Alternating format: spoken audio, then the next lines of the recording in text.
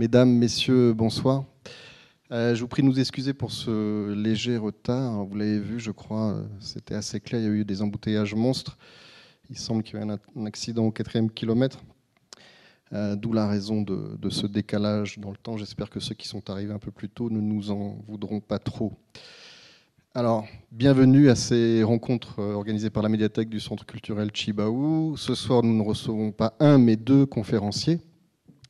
Alors je vais commencer par euh, le plus ancien, euh, l'expérience Eddy Wadrawan, euh, donc qui est docteur en sciences de l'éducation, et Fabrice Wachali, docteur en linguistique, donc tous deux enseignants-chercheurs à l'UNC, à l'ESP, pour ceux qui les connaissent un petit peu. Alors ce soir, ils tenteront de nous montrer, de nous démontrer comment articuler les, les savoirs autochtones aux savoirs académiques au sein de l'école, euh, donc vous l'avez compris, on va parler de, des éléments fondamentaux de la culture kanak, qui, je crois, peut-être pour certains d'entre vous ici dans cette salle, ont donné quelques sueurs froides quand il s'est agi d'appliquer euh, ces choses-là en classe. Donc j'espère que ce soir, vous trouverez quelques clés euh, grâce à nos deux conférenciers, que je remercie vivement.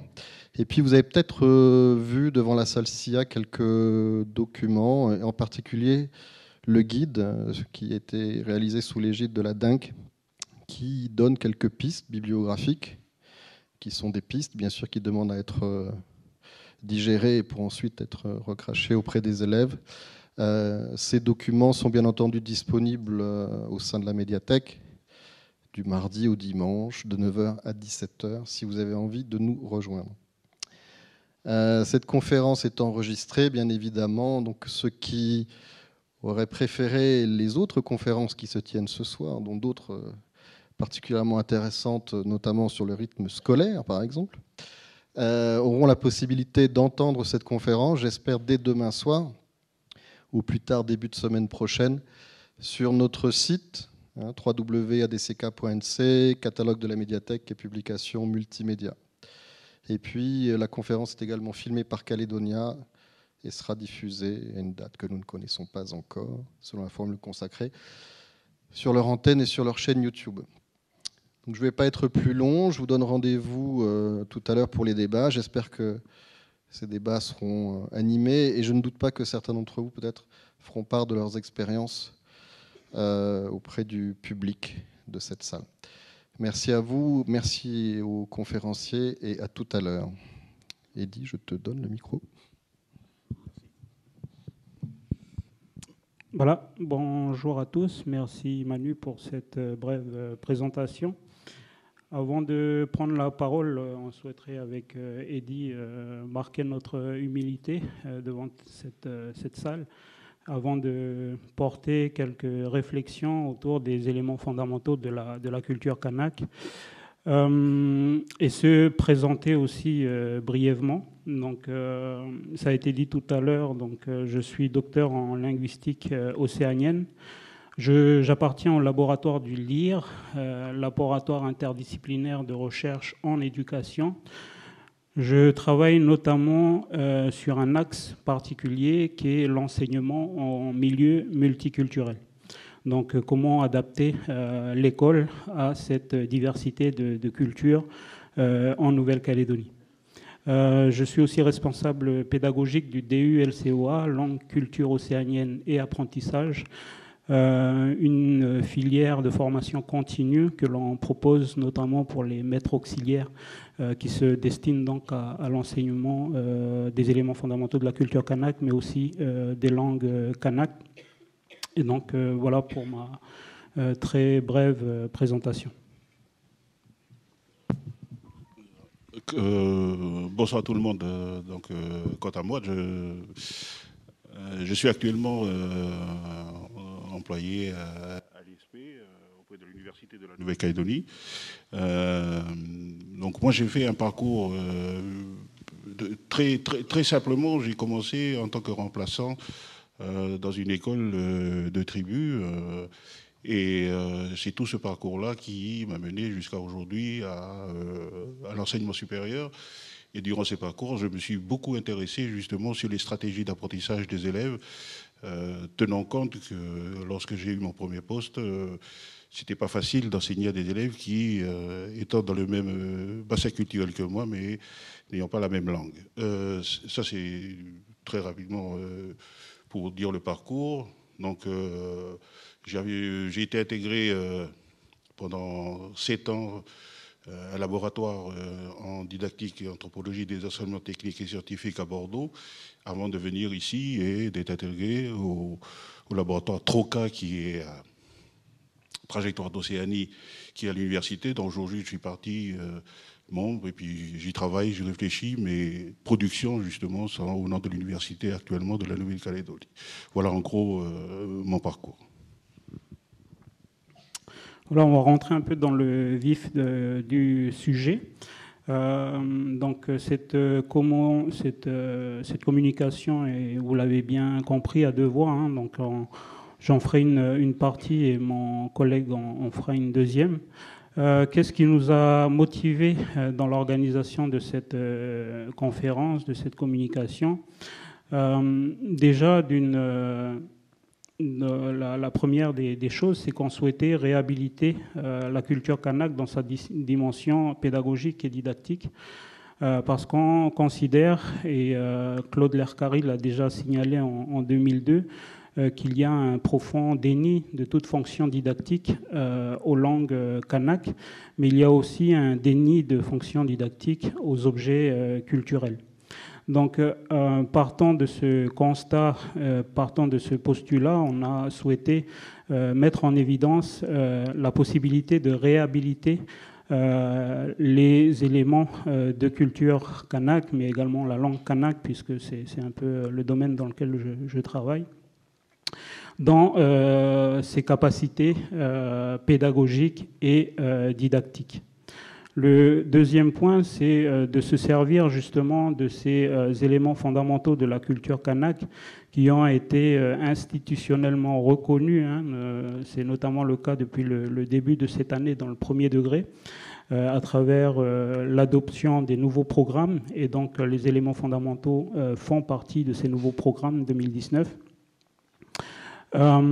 et passer peut-être le, le cap du, coup d'annonce, mais euh, entrer véritablement, euh, réellement, euh, dans une démarche d'exploitation à but pédagogique et didactique. le troisième point, c'est montrer aux enseignants, qui je pense forment la majorité de, cette salle, comment on peut partir des, pratiques sociales et, culturelles et échafauder pardon, des euh, modèles théoriques en vue euh, des apprentissages, notamment dans les, dans les salles de classe. Alors, rapidement, le, plan que nous vous proposons pour cette euh, présentation, donc peut-être faire un rappel succinct de la manière dont l'école calédonienne a progressivement intégré les savoirs autochtones dans son système éducatif parler ensuite des éléments fondamentaux, notamment du, cadrage institutionnel, donc les textes euh, qui encadrent euh, cet enseignement. Euh, le troisième point, je, laisserai à, à Eddy le, le, soin de le développer, c'est quels sont les intérêts académiques des savoirs autochtones et euh, je développerai, moi, de mon côté, une, partie sur la recherche euh, de didactisation des savoirs euh, autochtones. Et ensuite, on, fera quelques études de cas pour montrer concrètement hein, ce, dont on, parle de manière peut-être un peu trop théorique sur la première partie, mais on essaiera de, voir des, analyser des, des cas concrets. et on finira par une petite conclusion. Donc voilà le, plan que l'on vous propose. Donc je vais faire un, rappel euh, succinct de la manière dont les savoirs autochtones progressivement ont intégré euh, le système euh, éducatif. Alors je l'ai fait sous forme de, de frise avec quelques dates. donc pour les historiens qui sont peut-être présents dans cette salle, j'ai juste sélectionné quelques dates qui, euh, il me semble, sont des dates clés par rapport à, l'enseignement dans euh, son, évolution. J'ai considéré euh, de mon côté trois étapes clés. alors j'ai bien précisé que c'est l'école publique, hein, je déconnecte des écoles confessionnelles. Donc lorsqu'il y a eu 1853 la, colonisation, dès 1863, soit dix ans après la colonisation, il y a eu euh, des arrêtés produits par le gouverneur Guillain qui visaient à interdire l'usage des, langues kanak euh, dans, l'espace euh, public. Ça a été complété en 1921 avec des textes qui, notamment, qui contraint, on va dire, l'usage de ces, de ces langues, notamment dans le, dans le domaine de l'école. ces, ces, trois temporalité se retrouve dans l'accord de Nouméa. Hein. On parle du passé de la colonisation, on parle du présent du partage par le rééquilibrage, et on parle ensuite de la troisième temporalité, c'est le futur euh, partagé euh, dans le destin commun. Donc, euh, euh, je parlais tout à l'heure de 1863 avec les premiers arrêtés qui limitaient euh, l'usage des, idiomes euh, à partir de 1946, les kanaks ont été reconnus comme citoyens français et donc ont intégré les écoles. Donc, alors, je ne parle pas des, écoles indigènes, hein, donc c'est encore autre chose et je renvoie aux, travaux de Marie Salin pour ça en 1946, donc euh, fin du régime de l'indigénat, les euh, Kanaks sont intégrés dans, l'école. Alors j'ai noté en dessous ségrégation dans la mesure où chacun était un peu euh, dans son école. donc les Kanaks dans les écoles confessionnelles et les fils de colons plutôt dans, les écoles dites coloniales. à partir de 1946, donc on, intègre tout ce beau monde, on va dire, dans le même espace. Euh, dans la même école. Et euh, à partir de ce moment-là, euh, il y a une petite période que, j'ai appelée, enfin que Marie Salin a appelée la, période un peu assimilationniste, qui consistait finalement à intégrer les gens, donc peut-être physiquement, mais de laisser en dehors de l'école les éléments qui constituent leur personne, c'est-à-dire leur culture et leur langue. Donc euh, les, interdictions étaient encore euh, d'usage, donc on n'avait pas le droit d'enseigner les langues et la culture euh, kanak dans les écoles. Donc, euh, à partir de 1884 et 1888, hein, comme euh, chacun sait, je pense, autour de cette, dans cette salle, c'est euh, une période un peu trouble de notre histoire en Nouvelle-Calédonie, hein, cette période que l'on appelle les événements, où il y a eu une rupture avec avec le, le, système en place, puisque on a créé ce que l'on a appelé les EPK, les écoles populaires kanak, euh, parce que les Kanaks ne se sentaient euh, pas considérés dans, l'école. Ils ont décidé de créer des écoles euh, pour eux-mêmes, c'est-à-dire se basant sur leur culture et, leur langue. Donc je, parle ici de rupture dans la mesure où ben, on a dit ce système-là ne nous convient pas, donc on va créer un système à nous. Et donc, euh, il y a eu aussi dans cette période, mon, collègue euh, souhaitait que je le rappelle aussi, euh, des écrits de deux chercheurs de l'Orstom, Colère et Wacon, qui ont dénoncé au fait les inégalités qui pouvaient exister à l'intérieur du, système éducatif en place. Tout ça a, généré donc cette période assez trouble. De, notre histoire, hein, de l'histoire de notre, de notre école mais qui a conduit finalement en 1988, à travers euh, les accords euh, de Matignon-Dino notamment, de euh, considérer non seulement les langues, mais considérer aussi la, culture, notamment dans la création des, provinces. Et il a été justement décidé que les provinces adaptent le système éducatif en fonction des réalités culturelles et, et linguistiques. Et donc libre aux, trois provinces d'adapter le système éducatif selon euh, leurs besoins. Et donc ça, c'était en 1988. Et à partir de là, on passe, s'ouvre une autre, une autre période, euh, à mon sens, euh, donc le présent, le temps du partage par le rééquilibrage. Hein, encore une fois, c'est considéré dans, dans, les accords de, de, de Nouméa, pardon s'ouvre une, période d'adaptation du, système éducatif. Donc, euh, adaptation nécessaire parce que euh, les, personnes qui sont dans, euh, les écoles sont forcément différents. Donc, autant avant cette, période, on ne considérait pas forcément ces, ces personnes dans, dans leur culture et dans leur langue, autant là, on se dit, OK, il faut peut-être transformer ou peut-être adapter un peu plus le, système pour qu'il corresponde un peu plus aux, populations que, nous avons et contribuer justement à ce que euh, le maximum d'élèves euh, réussissent. Donc euh, il y a eu en 1998 la confirmation hein, par les, accords de Nouméa et là encore, l'article 133 de, l'accord de Nouméa, les langues kanak sont euh, reconnues au même titre que le français, langue d'enseignement et, de culture. Alors, on est là pour euh, parler surtout des éléments fondamentaux de la, de la culture kanak. Hein. Donc, euh, ça fait depuis 2016 que les éléments fondamentaux euh, de la culture kanak ont été, euh, ont été promus, euh, notamment par le projet éducatif de la Nouvelle-Calédonie. Donc, on en arrive finalement à la fin de cette période d'adaptation et le sens un peu de notre communication ce soir, c'est quelle école?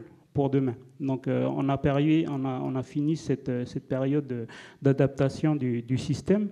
Et maintenant, comment on se, on se projette euh, dans, euh, dans l'avenir?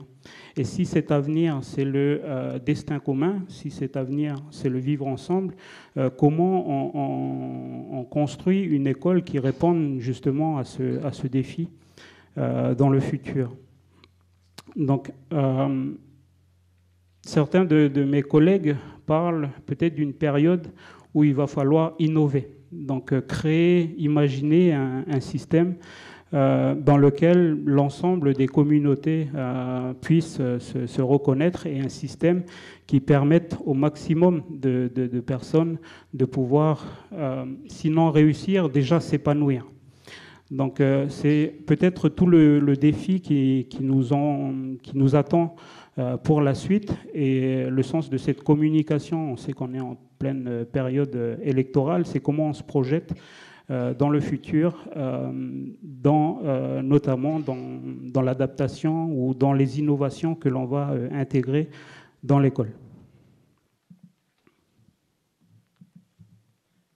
Alors j'en viens au, cœur de notre sujet, hein, les, éléments fondamentaux de la culture kanak. Euh, donc je vais essayer d'être assez bref là-dessus, mais on a un cadre institutionnel euh, qui permet la mise en application de cet euh, enseignement. Donc j'ai parlé tout à l'heure de l'accord de Nouméa. On a aussi un service qui est dédié à cet enseignement, hein, créé à partir de 2012, donc que l'on que l'on appelle le CELC, Service de l'enseignement des langues et cultures kanak. On a aussi le conseil partenarial qui regroupe euh, toutes les institutions et qui réfléchissent euh, justement à la, mise en œuvre de cet enseignement, à la création d'outils pédagogiques, etc. etc. Euh, on a évidemment le projet éducatif de la Nouvelle-Calédonie qui a rendu obligatoire cet enseignement. Euh, la réforme du collège, c'est aussi intéressant parce que euh, dans le cadre notamment des, e, EPI, enseignement en pratique interdisciplinaire, on a intégré les éléments fondamentaux de la culture kanak. Euh, et on a proposé qu'il y ait cette interdisciplinarité avec d'autres disciplines. Donc, ce qui est intéressant, c'est que maintenant, on va parler vraiment des éléments fondamentaux de la culture kanak pour connaître la société kanak mais euh, c'est aussi les éléments fondamentaux de la, culture kanak, peut-être pour euh, euh, mieux articuler d'autres disciplines. Hein. Ça peut être les mathématiques, l'histoire géo ou, bien d'autres disciplines. Et en tout cas, les réformes qui ont été apportées au, collège, à mon sens, vont un peu dans ce, dans ce sens-là. et le vote des nouveaux programmes 2019 hein, qui intègrent réellement les éléments fondamentaux de la culture kanak. Alors vous connaissez, je pense tous, les, quatre ambitions du, PANC, du projet, éducatif de la Nouvelle-Calédonie. Moi, je vais m'attarder euh, avec euh, mon collègue spécifiquement sur la prise en compte de la diversité euh, des publics pour favoriser la réussite de tous et notamment la valorisation de l'enseignement, de la culture et des langues kanak. Alors, je vais passer maintenant un, un, petit film, un, reportage qui montre l'enseignement des éléments fondamentaux de la culture kanak, un reportage qui a été fait par NC Première et qui a été, qui a été diffusé l'année dernière pour euh, montrer concrètement comment se, déroule hein, euh, l'apprentissage des éléments fondamentaux de la culture kanak. Dans la classe de Lara Charawian, l'heure est à la présentation de la case d'un grand chef et de l'herbier médicinal qui se trouve autour. Vous prenez une feuille là-bas et vous allez me dessiner une case de grand chef avec ses spécificités, ainsi que toute la végétation qu'on trouve autour. Ce cours fait partie du programme Éléments fondamentaux de la culture kanak dans la contextualisation de la réforme du collège, c'est un enseignement obligatoire pour tous les élèves du sixième du pays et il s'inscrit dans une démarche de découverte. Qu'est-ce qui représente ce cocotier, ce père euh, Le cocotier, il représente la femme et le parcolonaire l'homme. Qu'est-ce que ça marque? La frontière? La frontière des lieux sacrés et tabous. Très bien. L'immersion progressive dans la culture kanak est déjà une réalité pour les petits sixièmes de Mariotti. Depuis l'an dernier, un programme d'échange entre le collège et celui de Tadine à Marais permet à des groupes d'enfants de découvrir des univers différents. Le bounia, c'est pas qu'un plat, c'est aussi une, un apprentissage. En fait, tu apprends euh, comment, euh, comment éplucher les ignames. Un programme d'échange scolaire, un cadre réglementaire de l'enseignement, beaucoup d'enthousiasme et de travail de la part de l'équipe éducative et des élèves. Et voilà le sujet approche de la culture kanak qui prend forme. Un enjeu de taille pour cet établissement des quartiers sud qui a mis en place cette année l'enseignement du négoné, la langue de marée. Au collège Mariotti, ce n'était pas évident de créer un enseignement de langue vivante kanak. Et donc, nous avons construit avec nos partenaires du collège de Tadine un grand projet qui est un projet de rencontre et de vie avec l'autre.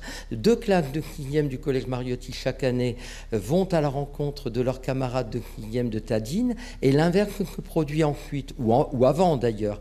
Et donc, au travers de ce projet, en réalité, on a réussi à créer un appétit pour la langue vivante et on a réussi à créer l'enseignement de la langue nengone. Nommer les choses, expliquer leur sens et leur symbolique pour éveiller la curiosité de ses élèves, Lara Charawian utilise différents supports. J'essaie de dynamiser mon cours le plus possible, donc ça passe par des supports numériques, euh, audio, ou parfois j'emmène des objets réels. Et euh, parfois j'organise aussi la classe sous forme d'atelier. Donc c'est les élèves qui sont acteurs qui viennent, qui vont chercher l'information et qui la restituent à leurs camarades. Donc ça se passe très bien, les élèves sont curieux, intéressés. La culture kanak bah, peut nous apprendre beaucoup plus de choses, donc euh, moi je trouve ça intéressant surtout euh, parce qu'on vit ici, donc euh, je trouve ça pas mal. C'est bien d'apprendre des choses qu'on ne savait pas avant. En fait, on apprend en même temps en s'amusant, puisqu'on voit qu'il y a plein de choses qu'on ne savait pas sur, sur la culture kanak. Et la magie de la découverte continue d'opérer. Fin août, le collège lance son premier chant d'igname. Il viendra consolider les bases de la culture kanak acquise en classe. Ok, donc euh, c'est l'extrait d'un reportage sur NC Première, justement sur les éléments fondamentaux de la culture kanak. Alors j'ai d'autres reportages, d'autres euh, petits films euh, que j'aurais pu montrer. J'ai choisi cet extrait-là, mais j'en aurais pu, j'aurais pu en montrer d'autres. Peut-être juste pour synthétiser hein, et dire que depuis l'année dernière, quand même, depuis 2017 il y a eu énormément de, projets qui ont été mis en place euh, dans les classes et c'est une manière pour moi, à travers ces quelques vignettes, de montrer euh, tout le travail, euh, toute l'exploitation pédagogique qu'il y a eu dans le cadre de ces éléments fondamentaux de la culture kanak. Ce qui est intéressant dans chacun des projets, c'est le rapprochement des familles avec l'école. Donc euh, ça a été euh, assez unanimement, on va dire, quand on analyse les, projets euh, soulignés par l'ensemble des, acteurs de ces différents projets. Donc j'ai mis dans la vignette du haut, par exemple, un, projet qui a été mis en place à l'école Louise Vergès autour du, clan. Donc dans, c'est un, quartier quand même populaire. Euh, en dessous, euh, une école, enfin deux écoles qui ont travaillé par exemple sur, sur à Moindou et à Lochila sur, sur l'IFU. sur le côté, une, le, projet Nîmois à Yaté. et j'ai mis aussi cette, cette image qui me plaît particulièrement, c'est une photographie de la case euh, qu'il y a en plein milieu de, l'école euh, Yvonne Lacour euh, sur, sur la foi. Pourquoi elle me, elle me plaît particulièrement cette, cette photo C'est que c'est la première fois personnellement que je voyais un objet culturel kanak en plein milieu d'une cour d'école. Et euh, j'avoue que ça, peut-être changé finalement le, ça marque peut-être le changement de, regard euh, justement sur, euh, sur ces objets-là de, culture. Parce que précédemment, on avait par exemple la case, mais qui était très excentrée par rapport à, l'établissement. Hein. Vous voyez par exemple sur Tuban, donc la case est derrière l'établissement. Donc, euh, alors je ne fustige pas, hein, mais je dis juste que dans les représentations de l'espace, la manière dont vous disposez l'élément, ça, montre quand même votre appréhension de, cet élément. Euh, ici, sur Yvonne Lacour, c'est personnellement, hein, c'était la première fois que je voyais cet objet euh, en plein milieu de la cour et euh, pour moi, c'était euh, intéressant de, voir justement comment euh, cette intégration des éléments fondamentaux de la culture kanak se, réalise sur le terrain et pour le coup dans cette école.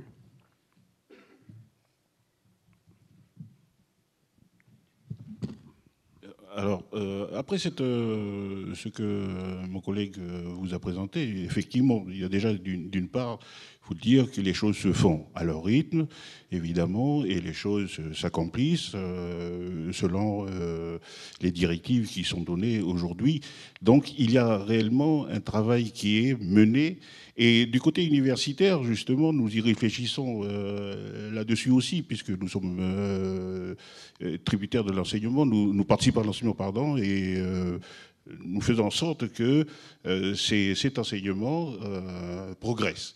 Et c'est pour ça que la, partie suivante que nous allons aborder sur l'intérêt académique des savoirs autochtones, effectivement, euh, les savoirs autochtones, pendant longtemps, ont été considérés, et ça, il faut remonter dans les années 1960 avec les recherches américaines sur les savoirs indigènes, tout ça, c'était considéré comme euh, des savoirs naïfs, des connaissances naïves liées aux sociétés, tout ça, etc. Et que ça ça n'a pas de grande valeur, mais justement, la, venue dans les années 60 des questions d'ethnosciences amène à reconsidérer ces savoirs-là en montrant que ces savoirs sont aujourd'hui, déjà à l'époque, mais aujourd'hui sont des savoirs intéressants pour l'équilibre du contexte, l'équilibre du contexte social. Puisque puisque ces savoirs sont produits par des sociétés et qui participent à une forme de stabilité, de cohésion sociale. On ne peut plus se permettre de les écarter. Et il y a aussi les travaux, je me rappelle les travaux de Lévi-Strauss qui montraient que euh, lorsque les sociétés fabriquent de tels savoirs, eh ben, ces savoirs-là participent, euh, ont une destination précise à l'intérieur de la société pour en même temps rendre euh, ces, sociétés-là, euh, non seulement euh, que ces sociétés puissent exister, mais à travers cela, ça montre qu'il y a une certaine pensée qui existe, une pensée qui participe à la construction de la société. Et aujourd'hui, on ne peut plus se permettre d'écarter ce genre de savoir, d'autant plus que ces savoirs sont euh, bien, entendu étudiés par les universités et progressent et commencent aujourd'hui à, renverser certains tabous institutionnels en, essayant de maintenir ces savoirs, euh, de garder des écarts euh, entre ce qui est de l'académique, ce qui est des connaissances indigènes. À savoir que, et je prends un défi, quiconque ici aucun savoir de l'école, de ce le savoir de l'université jusqu'à la maternelle, aucun de ces savoirs arrive par simple rêve. Ces savoirs viennent des pratiques sociales Et ça vient de toutes les sociétés. Sauf que ces savoirs ont été travaillés, et après, et on verra tout à l'heure cette question-là, ces savoirs ont été travaillés de sorte que ça entre dans les institutions. Aujourd'hui, justement, l'articulation que nous voulons donner à travers l'école et la classe, c'est pour, à un moment donné, fabriquer ce nouveau cultivé. Qu'est-ce que c'est que ce nouveau cultivé? Ce, nouveau qui est capable de autant vivre et avec une part de l'autre dans sa partie, et même dans, sa, dans, cet, autre, de vivre avec la part de, l'autre partie. C'est ce que un de mes collègues, Bernard Carteron, euh, parle d'hybridité. Et ça, c'est quelque chose de, formidable parce que c'est quelqu'un qui est capable hein, de, de, vivre des contextes. Et ça, l'école, l'école, la classe doit participer à cette construction de ce citoyen-là. D'autant plus que, eh bien, d'une autre façon, c'est de grandir dans le savoir savant. Et en même temps, les connaissances tout à fait plausibles dans le fonctionnement social. Alors, justement, par rapport à ça, eh bien, il faut développer ce que j'appelle ici une zone d'hétérogénéité communicationnelle la ZHC. Mais cette zone d'hétérogénéité communicationnelle vient parce que on a été capable de mettre en synergie les dynamiques à l'intérieur de la société. On a été capable, et ça je reprends ici le concept d'Edgar Morin sur la question de la résilience, de, de reliance, pardon, donc vous avez les définitions de chaque terme, euh, je vous laisse lire.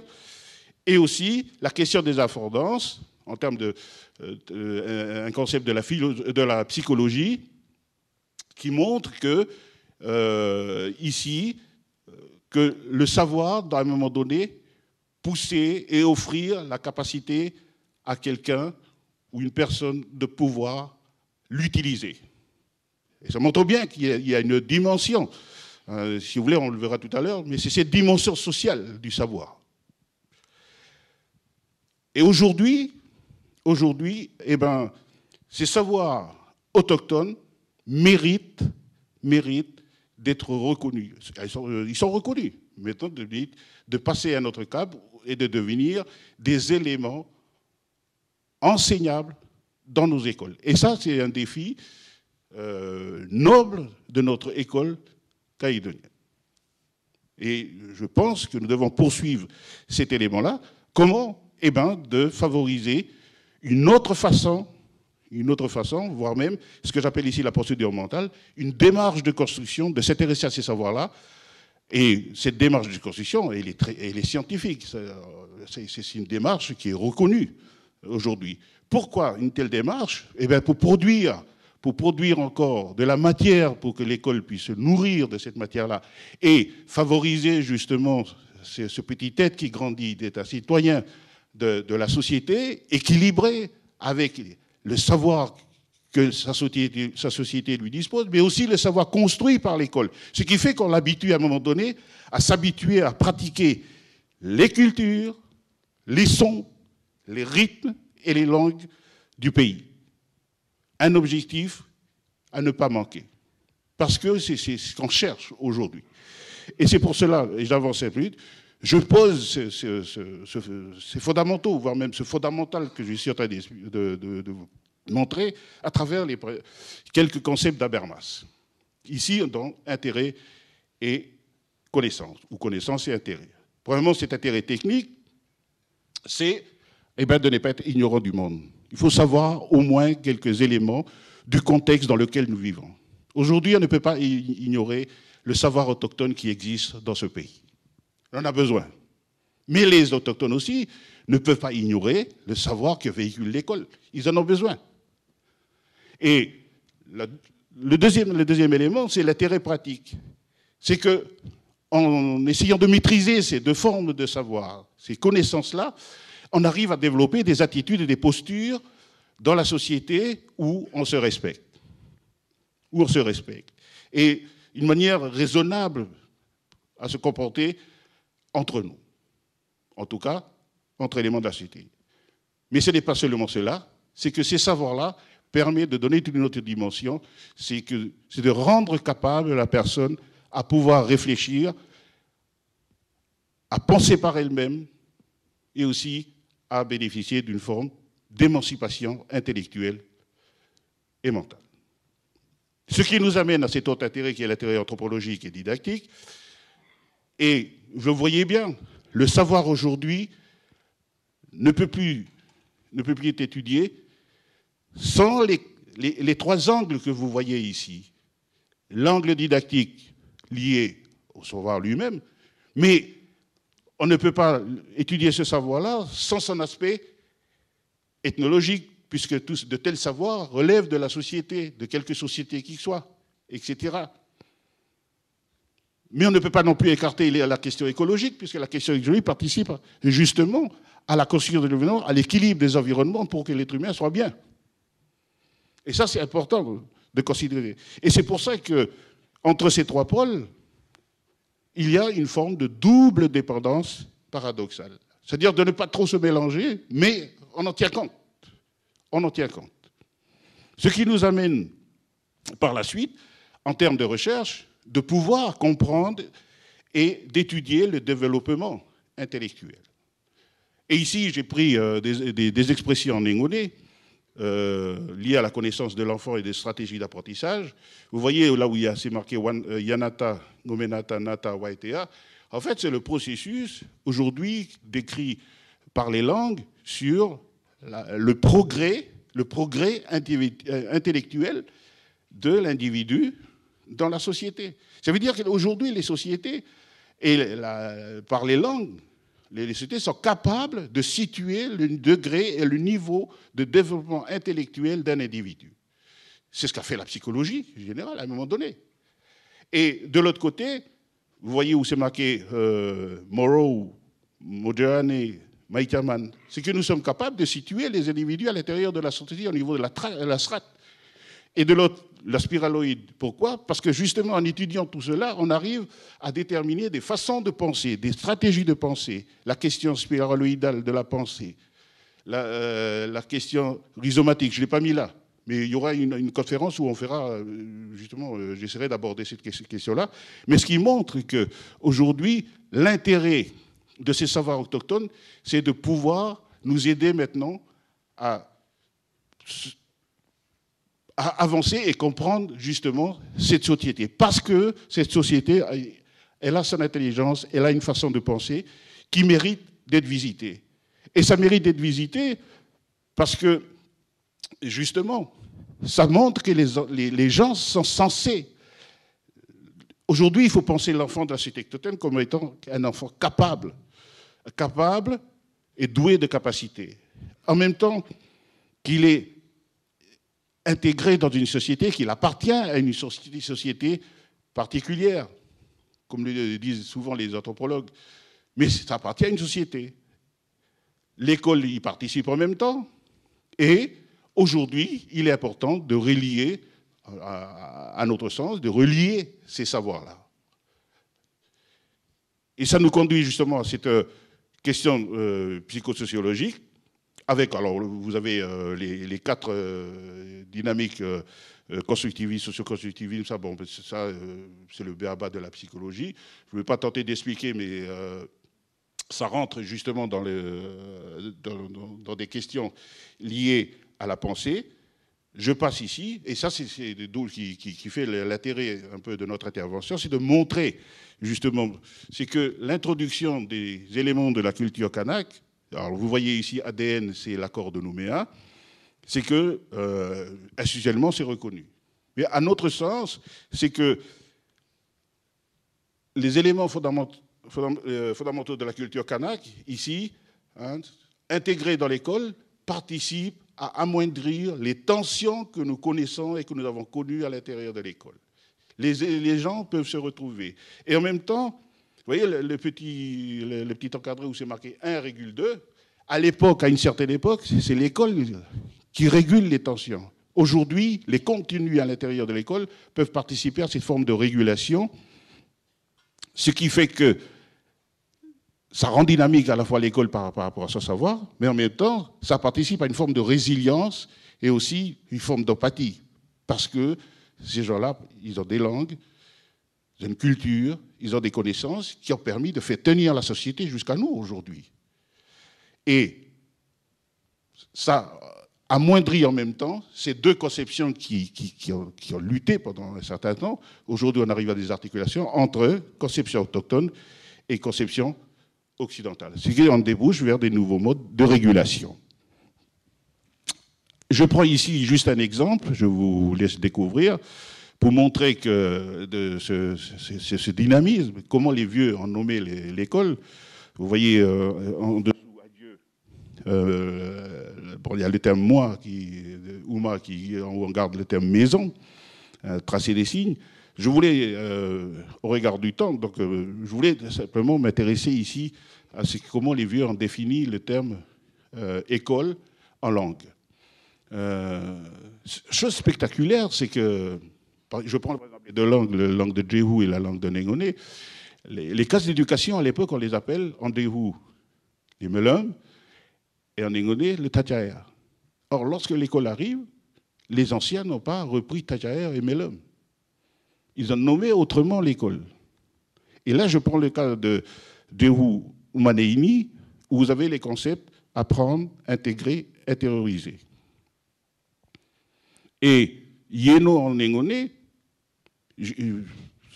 j'ai pris le travail qui avait été, euh, mené par euh, Kawidron euh, Wapron, Kawidron et Wapron, un mémoire qui a été déposé en 1995 à Bordeaux, et il montre à travers ses recherches comment les gens définissaient l'école.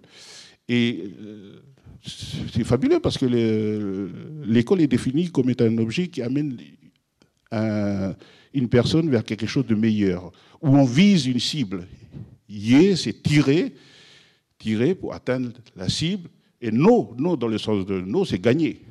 Si je dis Inugotino, c'est moi qui le, le gagnant, c'est moi le, champion, on va dire comme ça. Hein? Ceci pour, pour, pour montrer qu'il y a un intérêt à y réfléchir sur ces questions linguistiques et sur ces questions liées donc, la question académique des savoirs autochtones, eh bien, l'histoire et la, langue et la culture aujourd'hui montrent bien que ces savoirs-là, ces savoirs autochtones, doivent à un moment donné rejoindre l'école. Et c'est ce qui se fait aujourd'hui, déjà aujourd'hui. Et cet intérêt-là est entretenu à travers justement la question des fondamentaux que nous sommes à même euh, d'en discuter avec vous aujourd'hui. Donc, sans tarder, je, laisse euh, la parole à mon collègue sur euh, la question des didactisations. Merci. Alors, un des, points qui, m'intéresse particulièrement de, développer dans ma recherche, c'est de montrer les modèles traditionnels de transmission du savoir. Euh, parce que les langues et les cultures ont été préservées depuis des millénaires et euh, il me semble important d'interroger peut-être ces, pratiques euh, de transmission du savoir et de voir dans quelle mesure on peut articuler finalement ces modèles traditionnels et pour les réinvestir éventuellement à l'école. Et donc, alors, peut-être un peu sobrement, on a, parlé de didactisation d'objets de, savoir euh, autochtones. Euh, ce que l'on oublie euh, très souvent, mon collègue parlait de, du réel pour partir vers les modèles qui sont construits par, par l'école le, souci que l'on rencontre parfois, c'est que euh, donc on, passe de l'objectif vers le subjectif, et, le problème, c'est que parfois on rentre directement dans le subjectif sans euh, peut-être prêter attention euh, aux, origines finalement du, savoir, de manière à ce qu'ils aient plus de sens. Donc ici, j'ai placer quelques, vignettes hein, pour, euh, pour euh, illustrer un peu ce, propos-là. C'est qu'il euh, il faut parfois revenir aux, origines ethno-écologiques du, savoir pour réellement en donner du, sens. Donc là, je ne vais pas rentrer trop dans les, dans les détails, mais la géolocalisation par sonar, notamment par l'étude des, dauphins ou des, chauves-souris, le principe aéronautique en, en, voyant les, les, les oiseaux. Euh, l'exemple du tractopelle, c'est simplement l'homme qui va euh, creuser, et donc euh, on, en a fait techniquement hein, des, objets mécaniques capables de, faire des choses un peu plus puissantes, on va dire. de la même manière, ethno, donc ethno par rapport aux hommes, hein, dans les, quatre autre vignette, euh, donc le double pontage des pirogues, par exemple, ben c'est, euh, enfin des catamarans plutôt, c'est, inspiré des, pirogues euh, traditionnelles.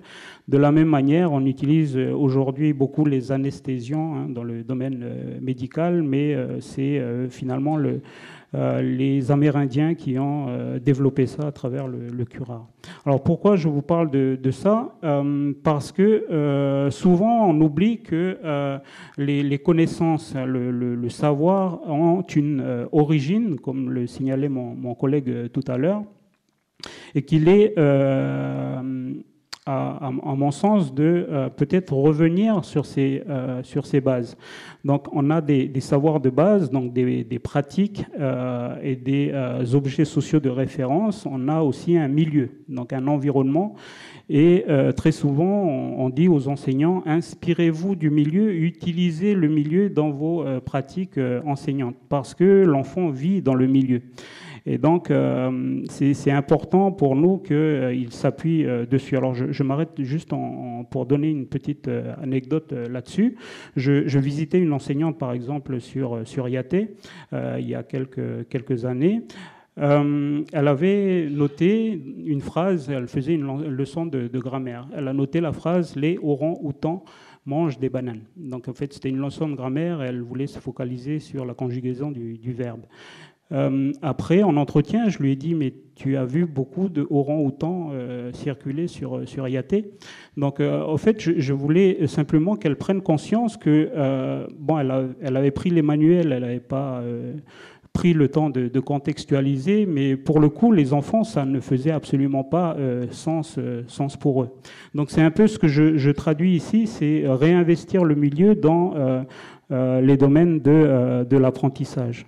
Donc, euh, ce que a démontré précédemment mon collègue, c'est qu'il est fort possible de se servir de ces bases pour construire ce que l'on appelle des savoirs savants. Donc là-dessus, on, s'appuie sur les travaux des linguistes, des anthropologues, des sociologues, etc., etc.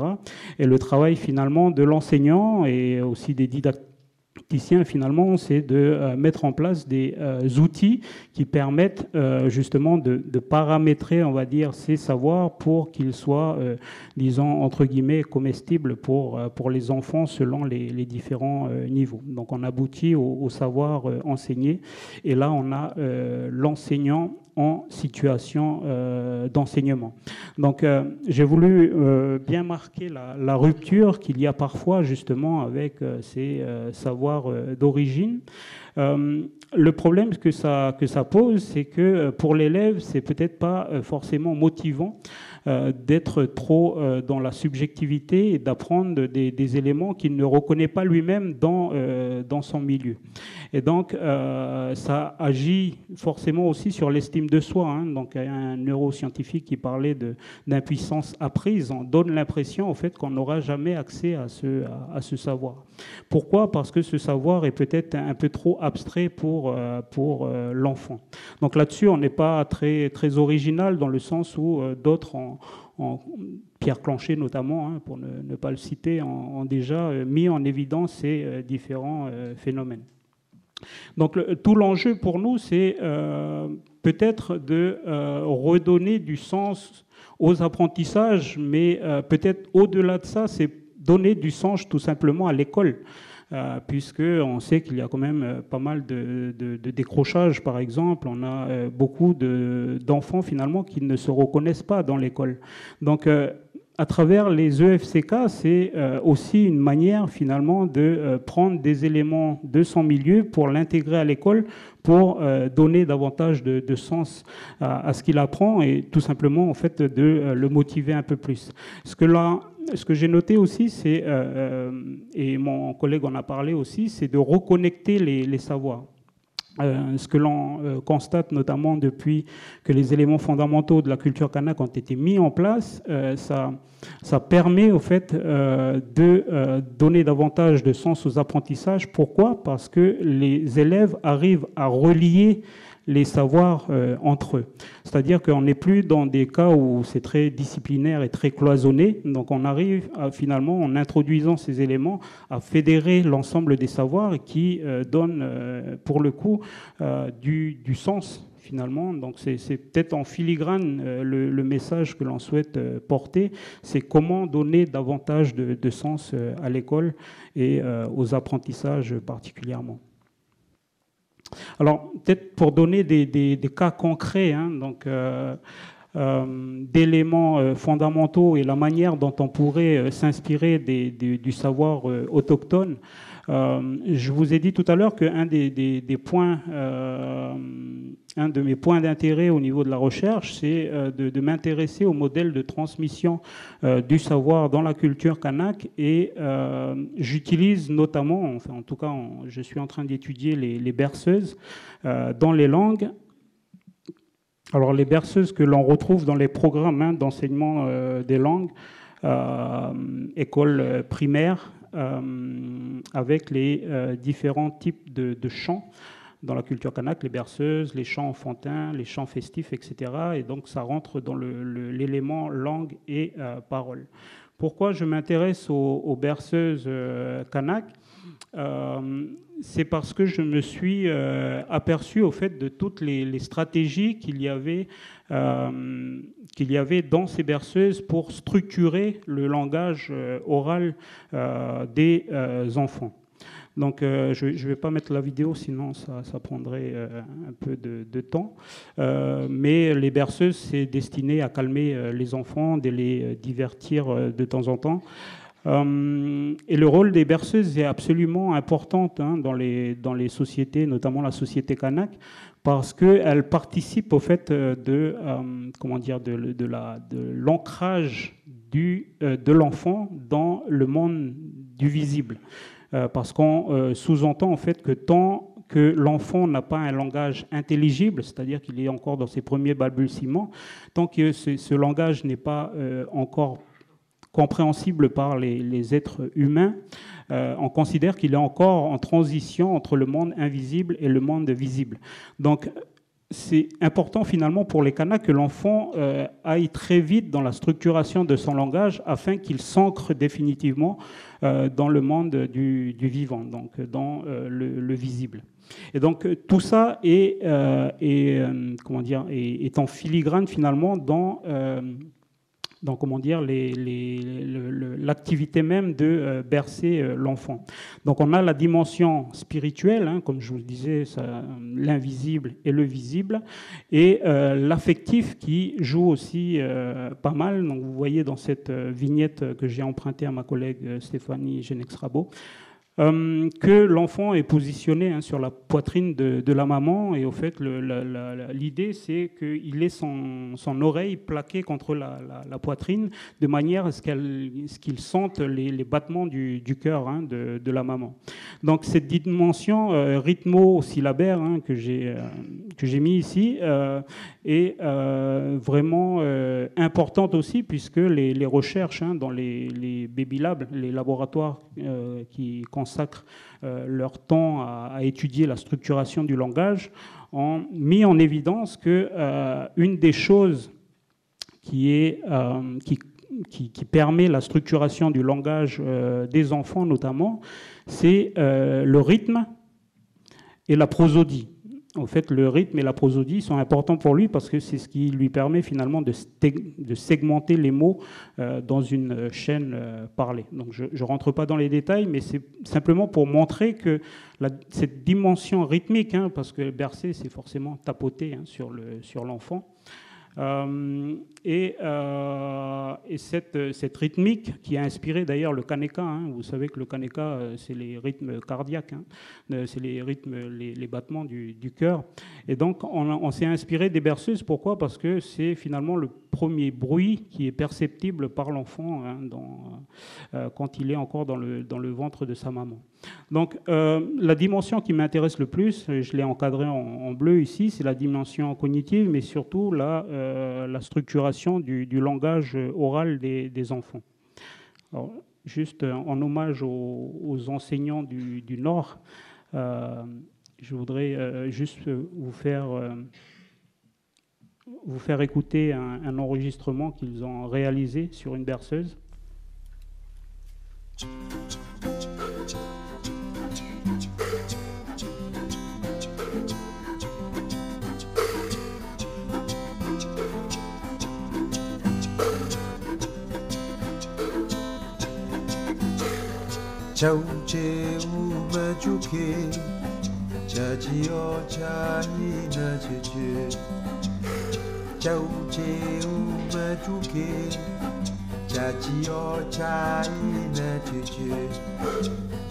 Bon, c'est assez entraînant, mais je vais couper là.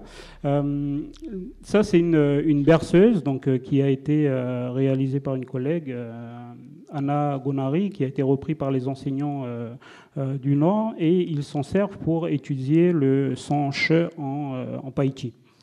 Euh, ce qui est intéressant, c'est que euh, toutes les berceuses, finalement, ont un peu cette, cette, configuration avec un son qui va sortir en, en permanence. Hein.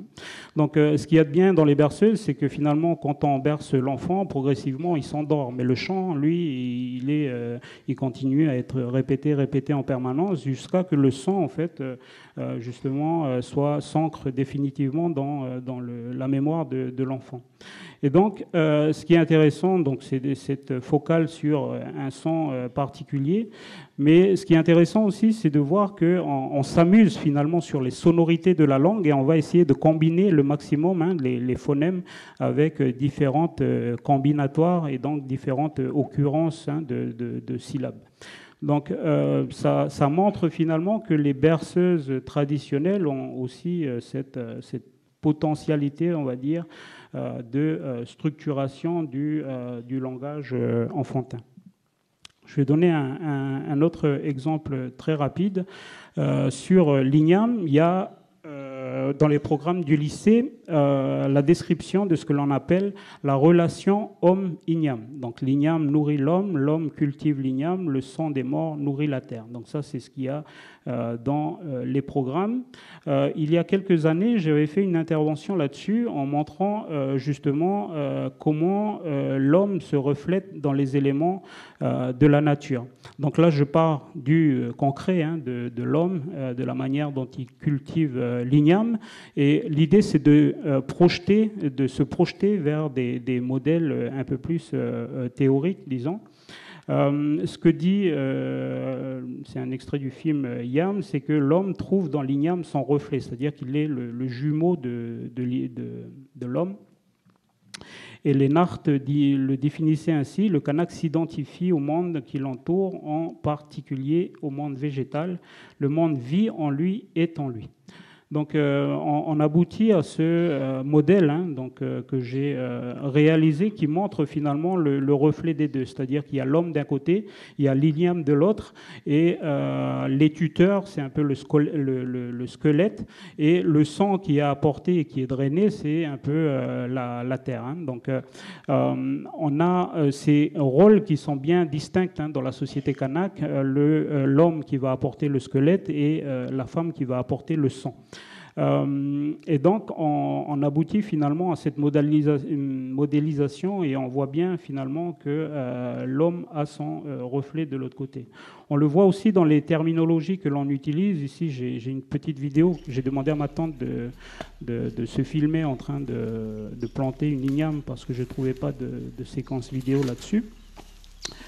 Euh, et ce que je voulais euh, mettre en évidence ici, c'est que dans la, terminologie utilisée dans les langues, on, met en, évidence aussi ce reflet. Donc là, pour le coup, c'est l'acte procréatique, hein, l'acte sexuel qui est reflété à travers la, gestuelle. Et donc tous les mots qui sont utilisés, au fait, rappellent finalement cet acte.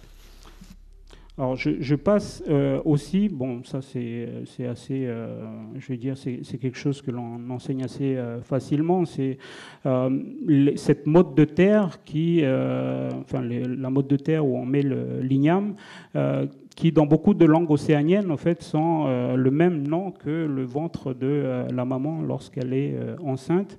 Et il y a aussi la durée, hein. donc les neuf mois de durée de grossesse sont aussi les neuf mois de, que prend l'igname pour émerger de, terre. Et donc jusqu'à même la, comment dire l'opération de, comment dire ça? Déterrer simplement le l'igname. Donc là, c'est un extrait du, du film Yam.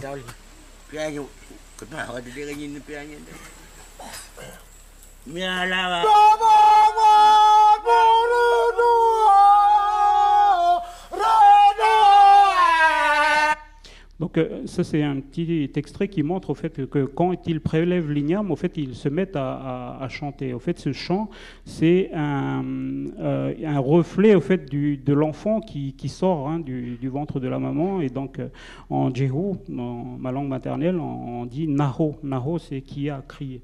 Donc on, voit bien qu'il y a ces, reflets finalement. Euh. Alors j'avais fait cette présentation pour insister sur le fait que euh, cette, harmonie euh, que l'on a avec la, nature, il faut peut-être essayer de, le retrouver. On, voit notamment dans les problématiques actuelles autour du réchauffement climatique, etc., qu'il faut peut-être s'interroger sur la, manière, enfin le lien que, que nous avons avec la, la nature et la nécessité peut-être de revenir à des liens euh, traditionnel, entre guillemets, et donc euh, une relation plutôt euh, symbiotique avec, avec l'environnement.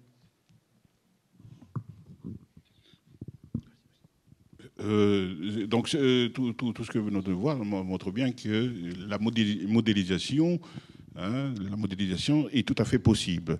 Et euh, là, je vous donne ici euh, simplement et rapidement euh, la, la, définition de la modélisation, et que cette modélisation euh, est tout à fait plausible euh, dans, dans, les classes. Alors ici, je ne vais pas trop m'attarder parce que vu le temps euh, sur la métaphore de l'éléphant et puis la métaphore du hérisson. Donc c'est sur des choses que nous connaissons. L'éléphant, tout simplement, c'est que tous les savoirs, à un moment donné, il ne faut pas voir que seulement un pan du savoir. Il faut l'étudier de tous les côtés, de sorte que, lorsqu'on modélise, on sait qu'est-ce qu'on modélise en termes de savoir. Euh, et la question du hérisson, c'est la question de garder la juste distance, de ne pas trop s'écarter euh, au niveau de cette modélisation au point où la chose ne signifie plus rien parce que c'est tellement virtualisé qu'il n'y a plus de relation avec le réel et en même temps de, de, ne pas rester trop dans le réel parce que euh, le passage en classe, ça risque de poser des problèmes. Bon, je, passe très rapidement, mais la question de l'affordance, évidemment, c'est de pouvoir offrir des actions nécessaires à ce que ce savoir puisse être utilisé dans le social c'est pour ça que quand je dis souvent au PE, quand vous faites les, additions, les soustractions, les multiplications, tout ça, c'est bien, mais il faut, demander, il faut montrer la dimension sociale de ces connaissances et de ces savoirs. Parce que, je donne un exemple, euh, lorsqu'un enfant quitte le magasin et qui sort, qui sort et puis à l'extérieur, il commence à compter ce qui reste comme pièce et qu'il est capable de, d'acheter le caramba, où il, il juge que c'est assez d'acheter quelque chose en plus, c'est qu'il a compris. C'est la raison sociale du savoir. Ça, c'est important.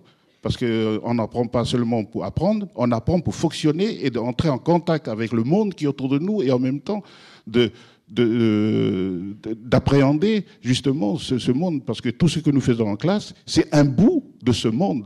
C'est un bout de ce monde qui, est à l'extérieur. C'est de pouvoir mieux fonctionner à l'extérieur. Euh, là, je, bascule ici. Justement, euh, je vous montre ici ce que nous voyons sur la côte est, même du côté d'IAT, c'est ce petit marché. Euh, ce petit marché, il est très significatif parce que lorsqu'on regarde bien, il n'y a personne. Il n'y a pas le marchand. Là où on entend souvent les gens couper du bois tout à fait au fond, mais l'organisation de la situation, elle est suffisamment euh, suggestive, c'est-à-dire que vous avez la petite pancarte 100 francs le coco, de toute façon, euh, si vous vous arrêtez, c'est que vous avez besoin de coco, sinon on passe, et en même temps, en même temps, la personne n'a pas besoin d'être là puisque la situation mise en place est, assez révélatrice euh, des attentes et des intentions qui sont impliquées dans la situation. C'est pour ça que euh, aujourd'hui, les enseignants doivent apprendre à lire les situations, les indices et les codes à l'intérieur des objets de la société, de sorte qu'on puisse à un moment donné saisir cette pente de la réalité qui est là, qui est là. Et euh, de pouvoir travailler, et puis on le sait, puisque la question des inférences est aujourd'hui dans les programmes. Euh, je bascule aussi ici sur le rapport espace et généalogie. Euh, c'est pour montrer la correspondance entre le réel, c'est-à-dire on, serait capable de, de ce réel-là construire des éléments à un moment donné virtualisés pour que les élèves puissent conserver dans leur mémoire euh, cette connaissance, parce que c'est cette connaissance-là qui, leur permet de, circuler et de fonctionner à l'intérieur de la société. Si vous voyez ici, c'est un Mengen, c'est-à-dire l'organisation du mariage à Marais. J'ai tenté de modéliser à travers le, dernier mariage que nous avons eu au niveau de la famille de mon clan, et ça donnait un peu ça. C'est cette carte. Ça veut dire qu'aujourd'hui, à ce stade, et ça c'est les connaissances de l'école, hein, ces connaissances-là, aujourd'hui, nous aident à, à un moment donné, l'autochtone lui-même participe à virtualiser ses propres savoirs et de pouvoir les intégrer dans l'école, qui à un moment donné, il ne faut pas oublier, l'école a déraciné, l'école a écrasé, l'école... Mais aujourd'hui, l'école participe à la sauvegarde des cultures, à la sauvegarde des langues, la sauvegarde de tout ça. Et c'est pour ça qu'il faut éviter, et ça c'est un militant qui vous le dit, évitant de taper sur l'école. Évitant de taper sur l'école. Nous avons besoin de cette école. Par contre, nous devons participer à faire entrer nos connaissances et nos savoirs à l'intérieur de l'école, et l'école peut rendre dynamique et construire justement ce citoyen équilibré attendu par la Nouvelle-Calédonie. Et en même temps, je termine là-dessus, allant très rapidement, justement, là j'arrive ici à des prototypes de schémas que les, élèves peuvent à un moment donné garder sur les cahiers, et ça c'est le travail de l'enseignant, c'est le travail de celui, qui observe euh, la société. Là, ici, c'est pareil, forme de modélisation d'accueil des clans.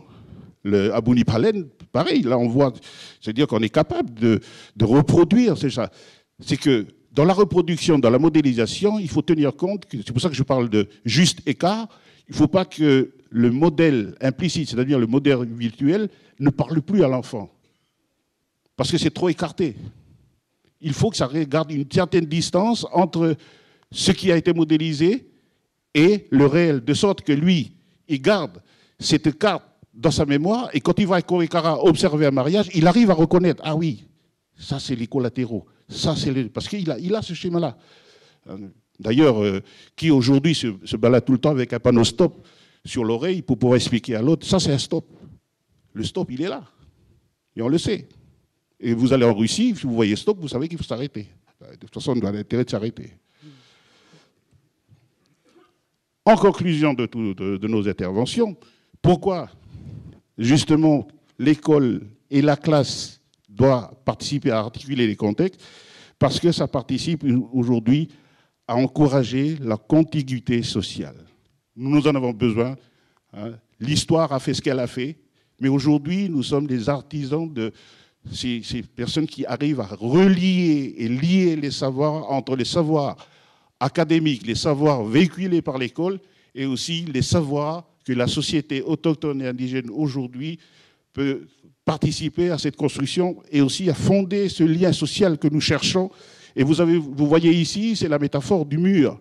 Et les deux, les du dessus et les trois agglos du dessous ne sont pas alignés. Il y a une partie de l'agglo euh, tout, tout, gris qui empiète sur l'agglo jaune. C'est ça, c'est cette articulation-là qui est intéressante. C'est-à-dire une partie de l'autre chez soi et une partie de soi chez l'autre. C'est ça que nous devons rechercher à travers ces fondamentaux, à travers l'école aujourd'hui. Euh, et en, même temps, ça participe à des procédures inclusives. Aujourd'hui, c'est le maître mot de l'école liée à la question de l'intégration des handicaps. Pour terminer là-dessus, évidemment, l'idée, c'est de faire évoluer cette école pour devenir une école pays, mais au sens délibératif, au sens où les personnes sont censées, parce que les gens doivent penser l'école. Penser l'école à partir de quoi? Penser l'école à partir de tous ces savoirs-là qui nous sont dissociés, et surtout, surtout liés à l'expérience, liés à l'expérience véhiculée depuis longtemps par nos anciens jusqu'à aujourd'hui, parce que c'est sans expériences-là, ces connaissances-là qui ont fabriqué à un moment donné ce social jusqu'à aujourd'hui que nous connaissons et nous faisons que prolonger ces morceaux d'expérience et ces morceaux de monde qui continuent d'évoluer parce que le monde évolue toujours. Et en revenant à la diapositive que vous voyez ici, la culture et les langues aujourd'hui légitimes, reconnues, habilitées puisque ça entre dans l'enseignement, cette culture, ces cultures océaniennes et kanak et ces langues aujourd'hui participent à une forme d'équité, à une forme de sincérité, à une forme d'empathie. Et ce, ce, noyau va permettre à un moment donné de créer des passerelles pour, à un moment donné, fabriquer ce que j'appelle ici le réhabiter pays. La question de vivre, réhabiter ce pays, se vivre ensemble lié à la diversité que nous cherchons bien entendu, c'est donner et participer à la construction de ce visage de l'école pays, de l'école de la Nouvelle-Calédonie. Pour terminer, je laisse euh, la parole finale à mon collègue. Euh, juste euh, quelques mots en, conclusion également hein, pour pour revenir peut-être à, ce qui a été abordé par euh, un des, collègues euh, il y a trois semaines, je pense, ici au, Centre culturel Chibao, qui parlait d'hybridité kanak, Wadewi Washetin. Il avait développé ce, qu'il entendait par hybridité kanak, et mon collègue en a fait mention tout à l'heure. Euh, c'est dire que euh, à travers les éléments fondamentaux euh, de la culture kanak, c'est une manière de, restaurer finalement une culture qui, au cours de l'histoire, a peut-être été, comment dire, dévalorisée. Hein. Donc quand on parle d'hybridité, alors je, parlerai plutôt de, de, biculturalité ou de pluriculturalité, dans le sens où un individu peut avoir plusieurs euh, cultures. Donc euh, moi personnellement, je suis kanak, mais je suis aussi français. Et je, ces, deux cultures en moi ne sont pas en contradiction, au contraire. Donc en fait, l'une et l'autre sont, sont, font partie de, de, ma personne. Et j'utilise ces deux cultures pour, pour, pour travailler tout simplement et vivre. Euh, mais je peux comprendre que des, personnes qui sont peut-être en marge de la société euh, ont encore cette, contradiction en, eux, c'est-à-dire que tout autant qu'ils vont valoriser par exemple la, culture kanak, ils ne vont plus en posséder les, codes, et tout autant qu'ils vont euh, peut-être dénigrer l'autre part de leur culture, ils vont en posséder les, les, codes. Donc ça c'est ce que Jacques Vernaudan et, Véronique Fiol appellent la, double contradiction. Et euh, finalement, on est peut-être aussi, pour une part de la population, dans cette double contradiction.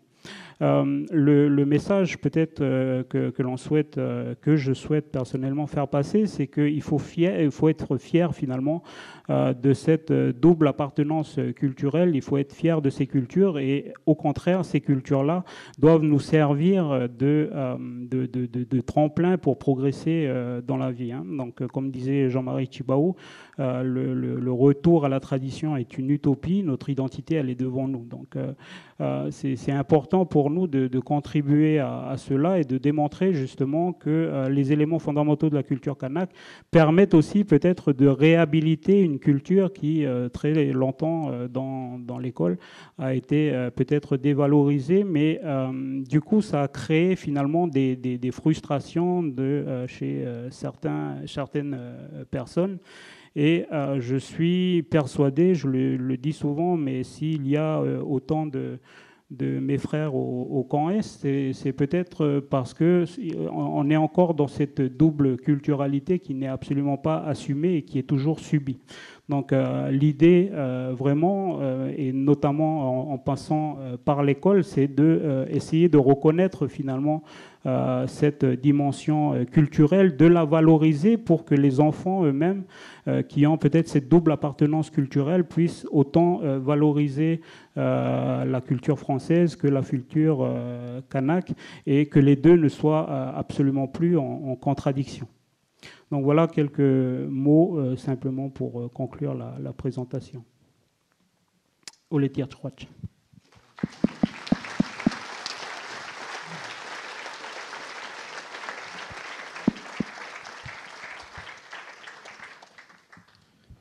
Merci Fabrice, merci Eddy. Les micros sont désormais à votre disposition dans la salle. Si vous souhaitez euh, avoir quelques compléments d'information sur des termes pour le moins complexes qui ont pu être euh, utilisés ce soir, ou apporter un, témoignage, poser une question. Euh, voilà. N'hésitez pas à vous signaler. Ah, une première question. Pardon. Bonjour, Colette Alonso. Je voulais vous poser la question éléments fondamentaux de la culture kanak. Ça m'a beaucoup étonné comme titre de la conférence parce qu'a priori, il faudrait quand même apprendre tout simplement les différentes cultures kanak et pas que des éléments fondamentaux de la culture. Je ne vois qu'une solution à ça, c'est la langue. Et je ne comprends pas bien qu'on puisse enseigner des éléments fondamentaux de la culture kanak parce que la langue contient pour moi l'ensemble d'une culture. Maintenant qu'il y ait des, des variations avec l'histoire, la géographie, pourquoi pas aussi en langue, je ne comprends pas bien pourquoi on part sur des éléments fondamentaux de la culture kanak alors que depuis 1988, la loi Dexon permet complètement des enseignements bilingues et qu'on reste encore bien en deçà avec ces éléments fondamentaux de la culture kanak. Et puis, quelle culture kanak? Celle de Marais, celle de Lifou Enfin, je veux dire, c'est tout différent. Donc, il faut, il faut passer par la langue. La langue est une source de richesse. Elle contient tous les éléments fondamentaux de chaque langue, pas de chaque culture, parce que les cultures sont différentes. Hein. Et je ne comprends pas bien pourquoi on reste en deçà, alors que depuis 88, la loi Dexon, la loi française, permet complètement de fonctionner sur un bilinguisme total. Expliquez-moi. Alors, euh, alors, je vais peut-être pas, euh, comment dire, euh, je vais aller dans votre sens. Hein. c'est aussi une interrogation que nous avons euh, eue et que nous avons euh, toujours. Hein. Moi, je suis linguiste et je défends les, langues kanak, donc évidemment euh, que j'aimerais que la présence des, langues kanak soit beaucoup plus prononcée. maintenant, il y, a, eu quand même beaucoup de, résistance, hein. il ne faut pas se, leurrer non plus. Euh, dans la mise en place des, des langues kanak. Hein. Donc, euh, si elles sont optionnelles aujourd'hui, c'est bien parce que euh, il y a encore beaucoup de, de, résistance et entre ce qui a été signé politiquement dans les accords de Nouméa. Hein, les langues kanak sont des langues d'enseignement et de culture en Nouvelle-Calédonie.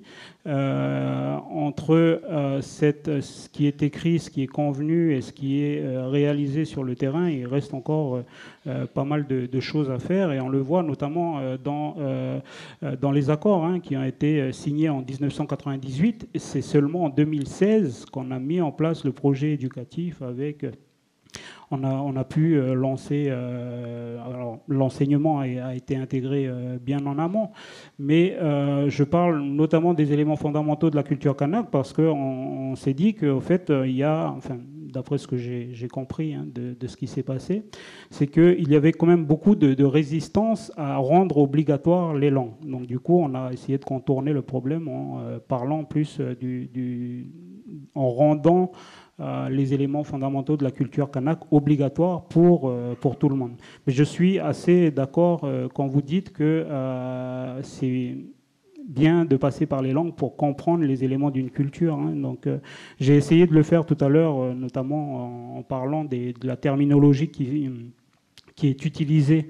Et, ça, je, le fais d'autant plus que prendre, comprendre la culture par les langues permet justement d'éviter peut-être le, prisme du, chercheur qui souvent agit comme un miroir un peu déformant. Par exemple, le mot coutume que l'on connaît, que l'on utilise tous, euh, dans la, pensée euh, occidentale, la coutume, c'est quelque chose que tu fais de manière habituelle, etc. etc. Quand vous prenez le, mot en, en donc euh, c'est la bouche du pays. Donc vous voyez qu'entre coutume et bouche du pays, en fait, on, n'a aucun, il n'y a aucun rapport entre les deux. Donc euh, effectivement, hein, donc, euh, moi je suis effectivement pour qu'il y ait euh, beaucoup plus d'heures consacrées aux, langues, mais il y, a quand même des, résistances qui font qu'on a dû passer par les éléments fondamentaux de la culture kanak pour, voilà, pour avancer un peu dans, l'adaptation du système éducatif. Alors la loi d'Exxon, c'est 1992. Euh, et effectivement, il y a euh, quatre langues euh, en option au, baccalauréat, le Nengune, l'Anjie, le Paichu et le Jehu. Et là aussi, c'est pareil. Donc, pourquoi ne pas ouvrir aux, autres, aux autres langues que de se, restreindre aussi à ces, à ces quatre langues-là précisément Donc, voilà, la, la, la question, elle reste entière.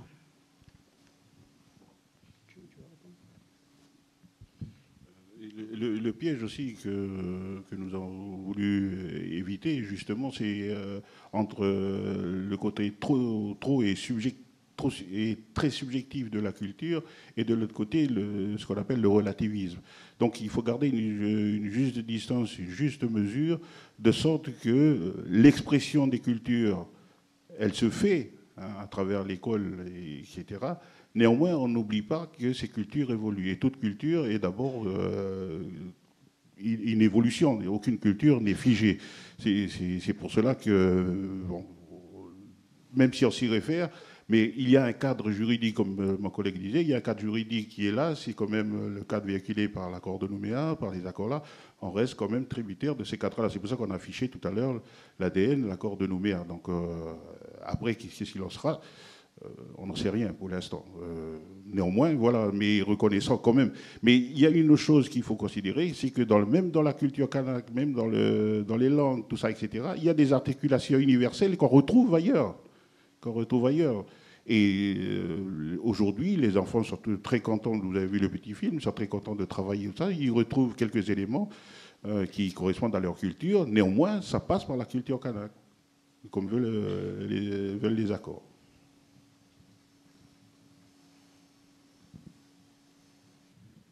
J'ai une autre question, c'est une question euh, de grande curieuse pour la langue. Euh, autrefois, il y avait un prof qui est arrivé de l'INALCO et qui nous avait expliqué la grammaire de la langue. Euh, alors, je ne me rappelle plus de quelle langue il nous parlait. Hein. Mais par contre, il y a quelque chose qui m'avait surpris parce qu'il disait du mot ce n'est ni un nom, ni un verbe, ni un adjectif, et je me disais, ce monsieur de l'INALCO, il n'est pas très clair, parce que moi, j'ai besoin de savoir qu'est-ce que c'est euh, comme euh, fonction grammaticale. Puis au bout d'un moment, je me suis dit, mais peut-être finalement, c'est peut-être ni un nom, ni un verbe, ni un adjectif, c'est peut-être un concept un peu comme dans les langues japonaises ou comme dans les langues chinoises, j'en sais rien.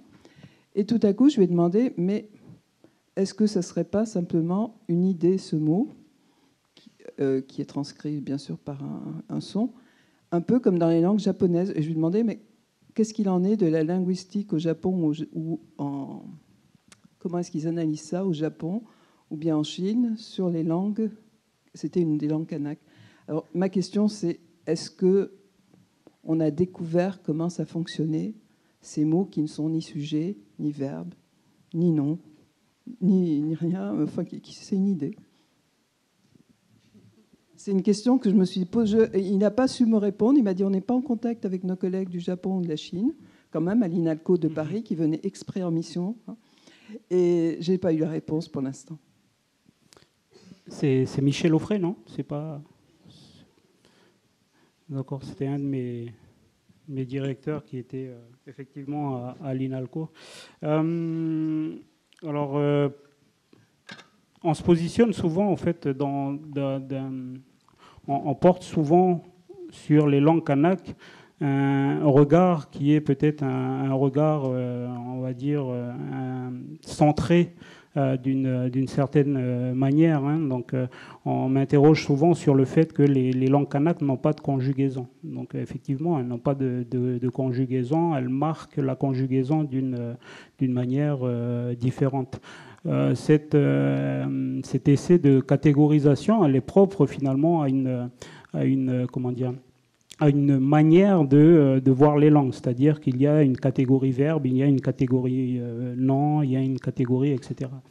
Euh, ces catégories-là, elles, existent bien dans les langues kanak, sauf qu'on ne les marque pas. C'est-à-dire qu'un nom peut très bien évoluer en verbe ou en, en adjectif, etc. Donc, au fait, on n'a pas de marquage. C'est-à-dire qu'au niveau de la forme, euh, il n'y a pas d'impact. Alors que vous vous prenez en français, par exemple, vous allez dire euh, lent, par exemple, pour l'adjectif, ou la longueur. Donc vous voyez bien que vous faites, enfin vous transformez morphologiquement le mot pour qu'il euh, intègre une autre catégorie. Ça, ça n'existe pas dans les, enfin ça existe. enfin, il y a une certaine catégorie de mots où il n'y a, vraiment pas cet effort à faire, on va dire, dans dans les aspects euh, morphologiques, c'est-à-dire qu'un mot peut très bien être nom, être euh, adjectif, etc., euh, etc. Mais ça concerne une, une catégorie spécifique de, mots. Hein. Donc, j'ai ma directrice Claire Moïse qui a travaillé là-dessus, hein, qui a parlé de l'opposition verbo-nominale, justement pour mettre en évidence le fait que, notamment dans les langues kanak, on, a une catégorie que l'on dit polyfonctionnelle parce qu'elles peuvent admettre plusieurs euh, fonctions. Je vais essayer d'être pas trop technique. Je voulais remercier M. Wadawan et M. Wachali pour leur euh, exposé. Il faut savoir que dans ce travail, nous sommes encore dans une démarche instituante.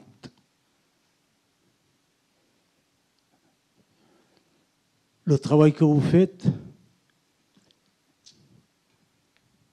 et devant la commande sociétale. Il ne faut pas oublier que dans la, le vivre ensemble ici, nous n'avons pas fait le débat d'intelligence voulu par l'accord de Nouméa qui nous permet de dire comment on fait société ici. La question qui vient d'être posée nous pose cette problématique. Si on veut retrouver dans les langues kanak, l'organisation grammaticale de la langue française, vous n'y trouverez pas. Et là, son propre fonctionnement. Et c'est ce débat-là qui nous est posé pour le vivre ensemble ici à Calédonie. Comment on peut se respecter de telle manière à ce que quand on se dit les uns et les autres, c'est recevable, comprise et on ne met pas en place des systèmes d'ambiguïté qui nous entraînent à chaque fois dans des situations d'ambiguïté. Et on fait continuellement le, tour, le tour du problème et ça n'avance pas. Je donner un exemple par rapport à ça. Ça, ça s'adresse à tous nos chercheurs, les jeunes. Quand on travaille sur nos langues, mais faites-les danser sur les terminologies qu'ils ont pour dire ce qu'ils sont. Prenons le cas, si vous prenez la langue, la langue française, vous dites la parole et on dit alifou wekin, c'est la parole, vous portez la culture française sur vos dos. Vous n'amenez pas la culture kanak. Par contre, si vous décortiquez wekin, qu'est-ce que ça veut dire? Ting, ça veut dire un panier. Et, et ça veut dire des objets. Quand vous allez encore plus loin, en faisant du décryptage, qui part du fonctionnement même de la langue, Ting, c'est eng. Et eng, les cordons ombilicaux. Et Ewekin, c'est tousser, ça veut dire une présence. Et Ek, ça vient de Ekete, qui veut dire quatre. Et un, c'est le feu. C'est un panier fait de nos cordes ombilicaux qui contient quatre énergies porteurs de feu à l'intérieur. Vous déclinez ça sur le fonctionnement sociétal, vous voyez exactement ce que ça veut dire dans nos rites, etc. Ça va très loin. Et là, la culture kanak apporte ce qu'il peut donner à ce pays, qui n'est pas donné actuellement. Parce qu'on nous lie derrière la culture française. Non, nous, nous avons une autre culture. C'est ce dialogue entre nous. La dernière fois, j'ai parlé du dialogue en disant qu'il faut se respecter pour qu'on puisse recevoir mutuellement les gens et s'enrichir ensemble. Et c'est ce problème-là. Donc, c'est ce travail. Je salue votre travail. Continue, ce n'est pas terminé. Vous êtes à court. On est en situation de dire il faut instituer. On parle d'une situation où c'était interdit. Il ne faut pas oublier que la loi Dixon, il a fallu qu'on enseigne les langues euh, kanak sur euh, Dokamo. Et en terminale, j'avais dit au vice-secteur, vous allez interroger nos enfants dans nos langues. Et c'est pour ça que trois, trois, mois avant ou quatre mois avant les examens, ils ont, ils ont donné normalement la loi Dixon ici. Ça a été arraché parce qu'on était dans l'illégalité. Mais l'illégalité par rapport à quoi? On ne peut pas vivre ensemble quand on considère les autres comme des illégaux. Où est-ce qu'on va comme ça? Donc continue, c'est très bon. Même avec les limites que vous avez, c'est normal. Nous sommes dans une démarche instituante pour faire émerger quelque chose qui est notre visage. Mais ce n'est pas seulement notre visage, c'est le visage de ceux qui vivent ici à Calédonie, parce que nous avons dit, nos responsables coutumiers dans un, dans un, colloque qu'ils ont fait, dans un palabre coutumier qui a eu lieu en 1981, il faut donner la place à tout le monde ici. Tout ça, c'est réglé chez les Kanaks. Pourquoi on va avancer et encore on dit non, vous êtes encore des interdits, vous êtes encore des... Non, on a du boulot à faire. Et le travail des chercheurs, c'est de permettre cette possibilité de lire. Il ne faut pas oublier, là c'est quelqu'un qui a travaillé aussi sur le sujet, ne faut pas oublier que dans toutes les langues kanak, il y a un personnage conceptuel qui nous concerne tous. Dans la langue Dieu, on parle du camo, dans la langue de on parle du hach, dans la langue Pachichemuri, on parle du Amboro. Dans la langue euh, de Marin Ngom. Enfin, celui-là, il est là. Il n'a pas de genre, il n'a pas d'âge, mais il est de toutes les cultures. Travaillez dessus, parce qu'il nous parle tous ensemble. Il peut être un Chinois comme un Vietnamien, comme un Français ou comme un Métis, etc. Ça nous, concerne tous. Et ce, personnage conceptuel nous concerne tous et en même temps, il nous invite à nous humaniser ensemble, puisqu'il faut aller vers le Jokamo. Le Jokamo, c'est une invitation à être de plus en plus humain. Faire en sorte que la part d'animalité que nous portons diminue. On ne le, perdra pas. Ça fait partie de nous. On fait partie de l'arbre, on fait partie du caillou, on fait partie des animaux, on fait partie du végétal, etc. Mais regarde ce côté-là, parce que c'est ce citoyen-là qu'on cherche, que le pays kanak cherche à nous tous. Comment on grandit en humanité pour vivre ensemble et faire société ici en Calédonie. Je rappelle tout à l'heure, on n'est pas là pour faire une traduction d'une langue à l'autre. Il faut faire très attention à ça. On tire les richesses de l'intérieur qui nous permet de grandir parce qu'en s'éclairant mutuellement, on va pouvoir avancer d'une façon assez forte parce que l'humain, où qu'il soit, il est semblable et il est en même temps différent et en même temps unique dans son genre. Donc euh, voilà, merci pour votre prestation ce soir.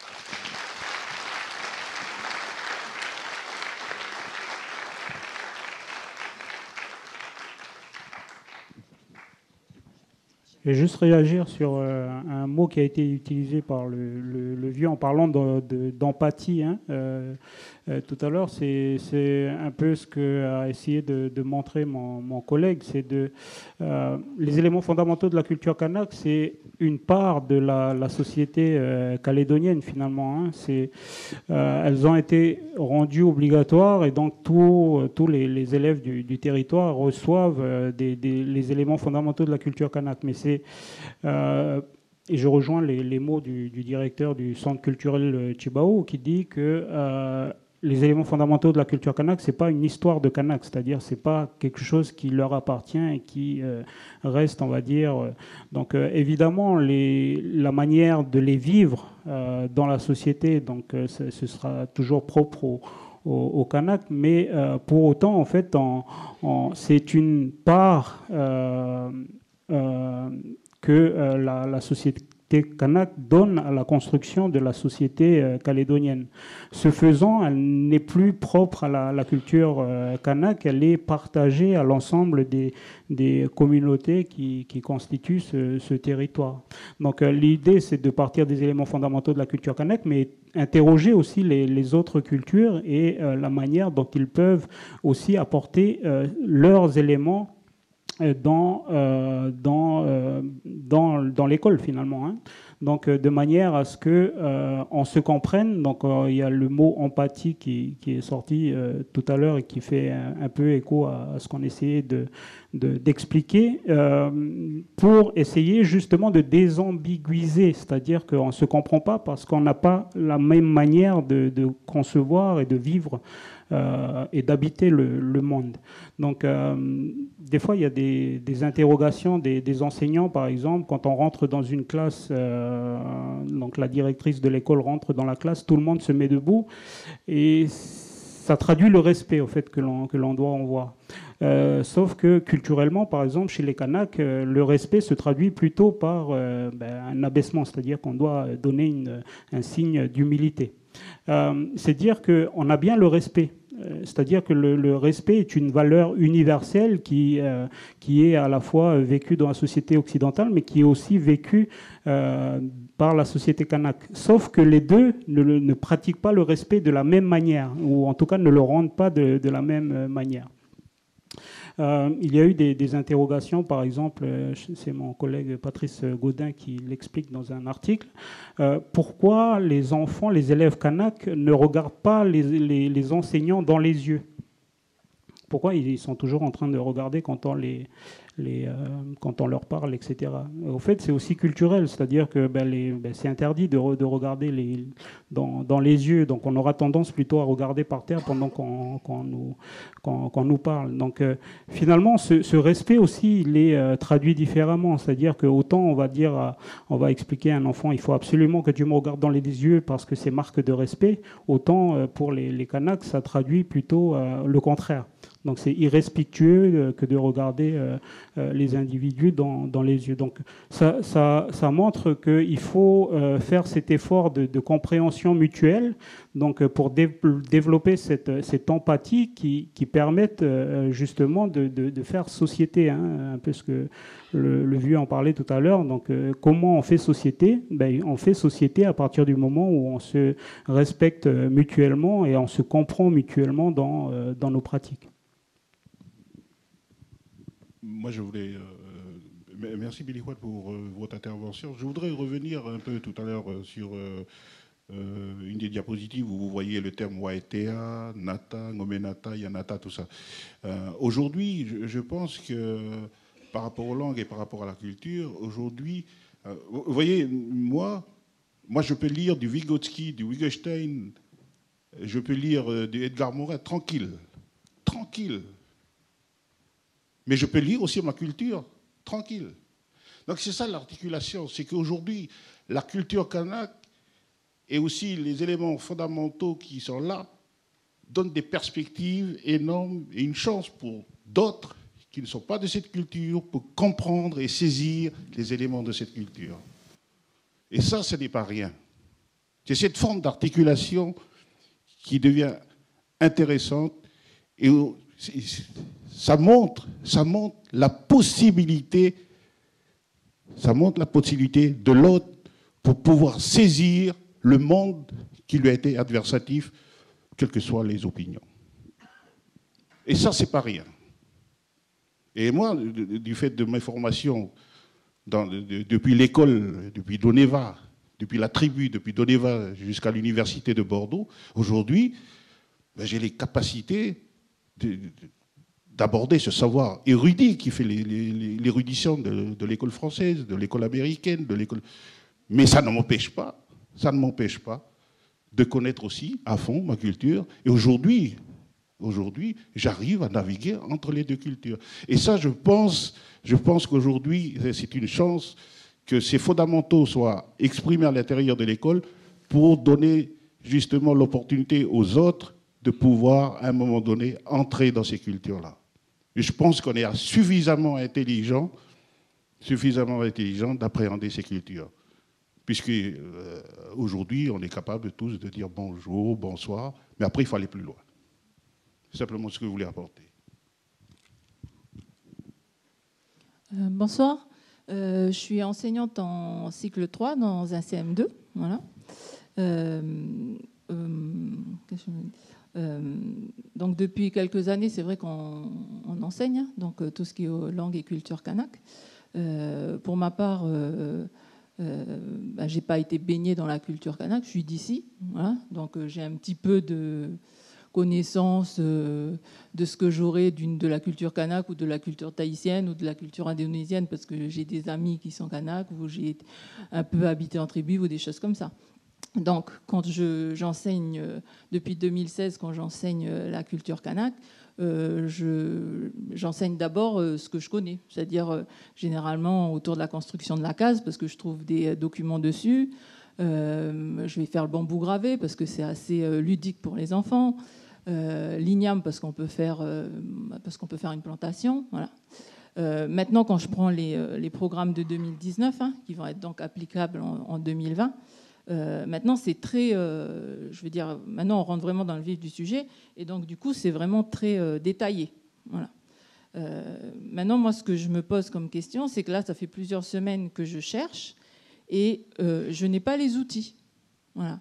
Quand après, après ce qui est de la case, de, calendrier de l'igname, des choses comme ça, quand il faut que j'explique, par exemple, bon, je sais pas, je prends au hasard, la personne au sein du clan, euh, la place et la fonction de l'encre lutérin, euh, le nom de trajectoire, le nom foncier, le nom statutaire. Euh, ben, j'ai pas, j'ai pas les connaissances. Et il faut que je le, je le, transmette ça aux enfants. Mais je ne trouve pas les outils. Voilà. Je ne trouve pas les outils. Je les cherche, mais je, ne trouve pas les outils. Je n'ai pas de collègues que je connaisse, de quelque ethnie que ce soit, qui soient réticents à ça. Ils sont, enfin, moi, tous mes collègues, en tout cas, on est plutôt partants. Voilà. Mais il faut nous donner des outils. Parce que comme l'histoire, comme le français, comme les maths, on nous donne à nous enseignants des outils pour pouvoir l'enseigner. Et euh, je ne trouve pas euh, d'outils que ce soit audiovisuels. Euh, enfin voilà, il y, a des sujets là que je ne vais pas pouvoir faire tant que je, n'ai pas les outils. Vous le disiez vous-même que vous ne trouviez pas de, de, vidéos sur comment planter l'igname. Donc voilà, ça c'est des choses concrètes, on n'a pas. Donc je voudrais savoir à quand seront, quand seront faits ces outils pour que nous puissions les utiliser. Je vais relayer la question au CELC. Euh, le service de l'enseignement des langues et, de la culture kanak. Hein. donc c'est le, service qui est justement dédié à la, création des, outils euh, pédagogiques. Et d'ailleurs, il y a un travail qui est en cours pour euh, essayer de centraliser tous les, outils pédagogiques, parce que finalement, le, le CELC a une partie, les, provinces ont aussi une partie de ces, de ces outils. Et donc, les, outils sont un peu éparpillés donc, on, essaye, de, avec le CELC, de constituer un, guichet unique qui récupère fait, les, outils pédagogiques et qui les met euh, à disposition des, euh, enseignants. Maintenant, euh, ces outils pédagogiques qui sont en cours de, constitution, hein, en cours d'élaboration, euh, parce que c'est un enseignement nouveau et donc, il y a euh, quand même pas mal de, choses qui doivent être euh, mises en place. Avec mon collègue, on a été sollicité notamment pour la mise en place du guide euh, des éléments fondamentaux de la culture kanak. On l'a réalisé en trois mois. il y a en fin 2016, début 2017. Donc, et les éléments de programmation, on l'a fait durant l'année 2017. Donc, tout est à construire finalement dans, dans cet enseignement. Euh, ce que j'ai fait, moi, hein, donc, euh, comme je n'ai pas d'outils, je vais récupérer, moi, directement les, outils euh, dans, le, dans le milieu. Donc, allez, vous, vous allez peut-être me répondre, oui, mais vous avez de la famille Kanak, donc c'est peut-être plus facile d'aller les, récupérer.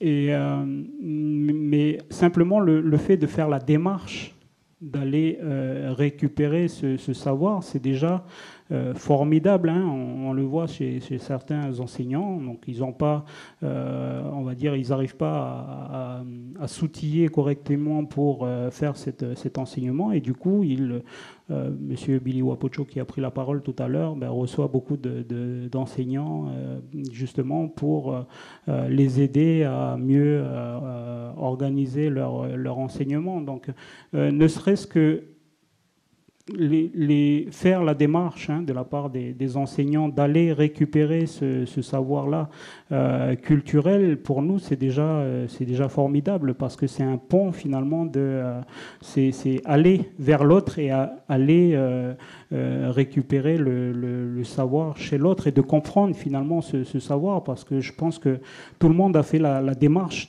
d'avant de les enseigner, de déjà les comprendre soi-même. Hein, donc, et, ça, c'est déjà, euh, c'est déjà un, grand pas.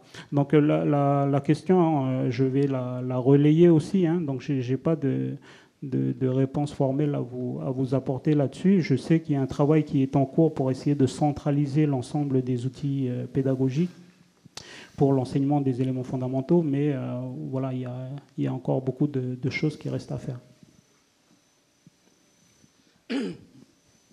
Oui, merci. Euh, bonsoir, euh, messieurs les conférenciers, euh, Wakali et Wadawane, et bonsoir au public. Hein. D'abord, respect, humilité avant de partager simplement également une petite parole. Il y a une chose qui m'a interpellé tout à l'heure, c'est par rapport à, on va dire, à ce que disait l'intervenante tout à l'heure, qui essayait tout simplement de comprendre, parce qu'elle ne comprenait pas. Or, euh, quelle, est, la situation? Messieurs, vous maîtrisez la langue de Molière, comme vous l'avez dit très justement, comme vous possédez aussi la maîtrise de la langue de chez nous. Et Monsieur Billy Wapoto évoquait il y a un instant, faites bien attention à la traduction. Alors, ce que je voudrais dire par là, vous savez, je vais remonter lorsque la première écriture qui a été transcrite en langue, c'est par la Bible. Voilà. Eh bien, la conceptualisation, parce qu'on parle beaucoup de la conceptualisation, mais comment la traduction, puisqu'on parle de traduction, M. Wapoto, a-t-elle pu se faire alors que ceux qui sont venus évangéliser ne possèdent pas d'abord un, un, mot de la langue des Hou, ou Dieu. Et de l'autre côté, on ne connaît pas, on va dire, le français. Et puis cette Bible-là, elle a été bien traduite en plusieurs langues également.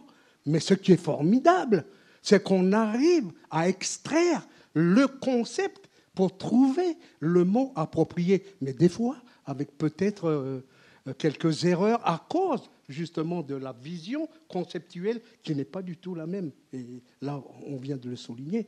Or, euh, moi, je comprends lorsque cette dame, euh, madame m'a dit tout à l'heure, parce que, alors, psychologie, la logique de l'esprit, on va dire en français, mais en déhou, en négoné ou dans d'autres langues, comment on va traduire ça?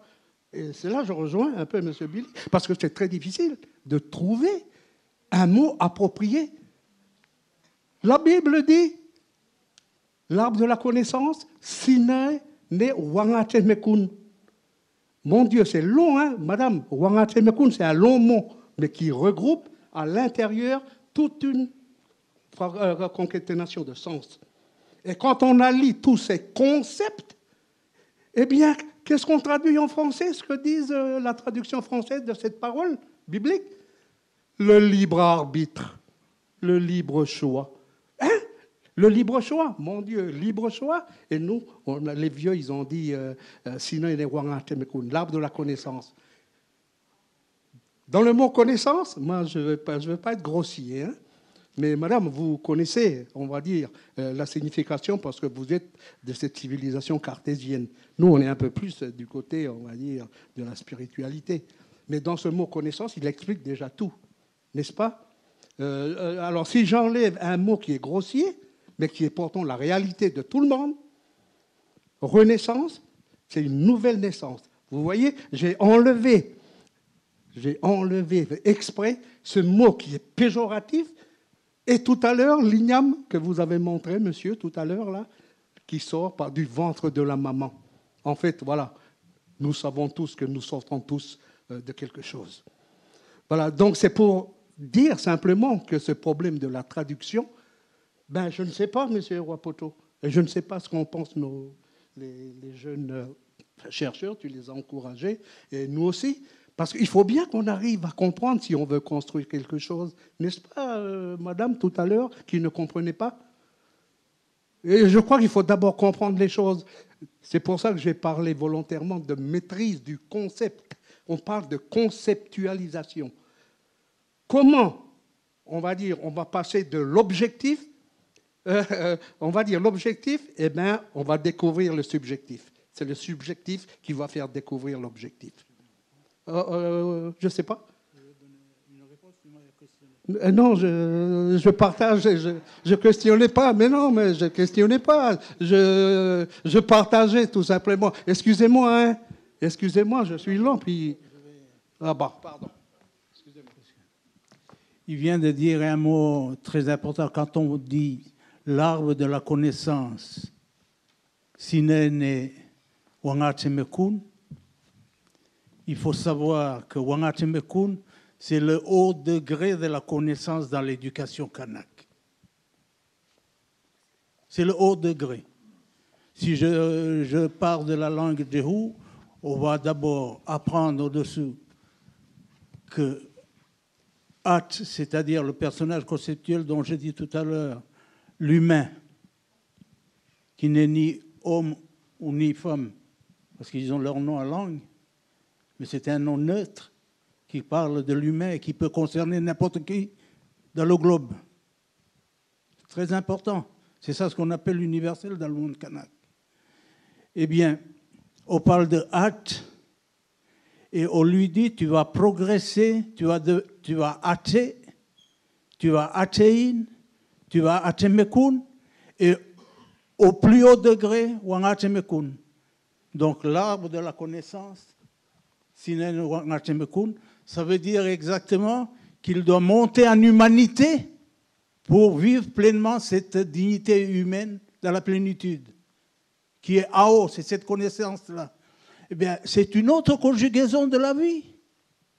On disait tout à l'heure que les langues kanak, nous pratiquons normalement, nous travaillons sur les mêmes valeurs, et il y a des valeurs différentes liées à la façon où chaque pays a dit, bien c'est celui-là que je vais privilégier. Et on parle de respect. Quand l'autre dit respecter, il faut me regarder. Pour les Kanaks, c'est un défi. On va faire c'est une invitation à la bagarre, à s'affronter. C'est pour ça qu'il baisse la tête. Et quand normalement il dit il faut que tu baisses la tête, l'autre il sent comme une, comme une humiliation, alors qu'on lui dit que c'est normalement c'est du c'est un signe de respect. Nous avons besoin de comprendre les valeurs que nous portons tous ensemble et sur lesquelles on travaille dessus. Tout le monde porte ça là. Je ne vois pas des gens qui, qui le matin, ils, se lèvent et puis disent je vais chercher quelqu'un pour ne pas le respecter. Non, on est tous porteurs du respect, mais on le conjugue différemment et comme on n'a pas appris comment l'autre y conjugue, eh bien on ne se comprend pas. Il faut apprendre à comprendre quelles sont les différentes conjugaisons des mêmes valeurs que nous utilisons pour mieux se connaître et se comprendre et éviter les ambiguïtés de communication que nous avons ici dans le territoire qui euh, nous met en difficulté. Je, je signale à nos frères, nos Kanaks et à nos sœurs, nos Kanaks qui sont dans la salle, ce n'est pas seulement votre problème, c'est aussi les problèmes que nous avons. Moi, quand je vais pour des rites du mariage dans la région Pachichemuki, où j'ai une sœur qui est mariée là-haut, je ne veux pas leur imposer la culture Jéhu là-haut. Je vais là-bas et je respecte la culture de mes neveux. Ils ont une façon de faire. Je prends la parole quand eux, ils me disent, ben, on veut que tu nous parles maintenant. C'est ce qui s'est passé. Dans un des rituels, j'étais étonné.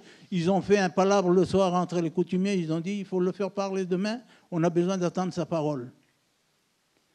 On veut voir ça dans le pays. Viens, parle à notre nom tous ensemble, parce qu'à fin de compte, quand on prend la parole, c'est pour construire le pays. Le China, c'est pour construire le pays. Et quand on construit le pays, il faut, bien s'attendre ici que le pays, n'est pas le paysage, c'est aussi le paysage, c'est aussi le décor. Mais le pays, c'est les hommes, les humains. Il faut construire les humains. C'est eux qui sont pays. On dira de nous, c'est un beau pays parce que nous sommes des Geneva, des vrais pays, parce que nous sommes des vrais hommes ou des vrais humains. Et si on n'est pas vrais humains et on veut avoir un beau pays, ben, il y a un problème. Et ça, c'est la culture kanak qui dit ça, dans son éducation.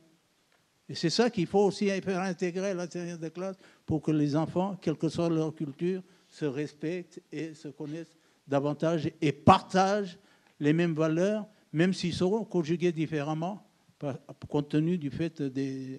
Au contraire, c'est une richesse extraordinaire. Vous voyez la démultiplication des savoirs et des connaissances, ne serait-ce qu'à partant de quelqu'un dans la salle, il nous parle de ce, savoir. Regarde le potentiel qu'on a là. Je vous décline la, euh, connaissance de l'IFU. Lui, il parle de la Pachichemuki. Regardez la démultiplication, tout d'un coup, on devient savant. Comme, il comme le petit, notre pays est un petit monde, mais vous ne pouvez pas imaginer le potentiel du gain que nous aurons ensemble par une démarche où on renouvelle tout, ce rapport au savoir. J'ai regardé vos interventions tout à l'heure, je n'ai pas vu...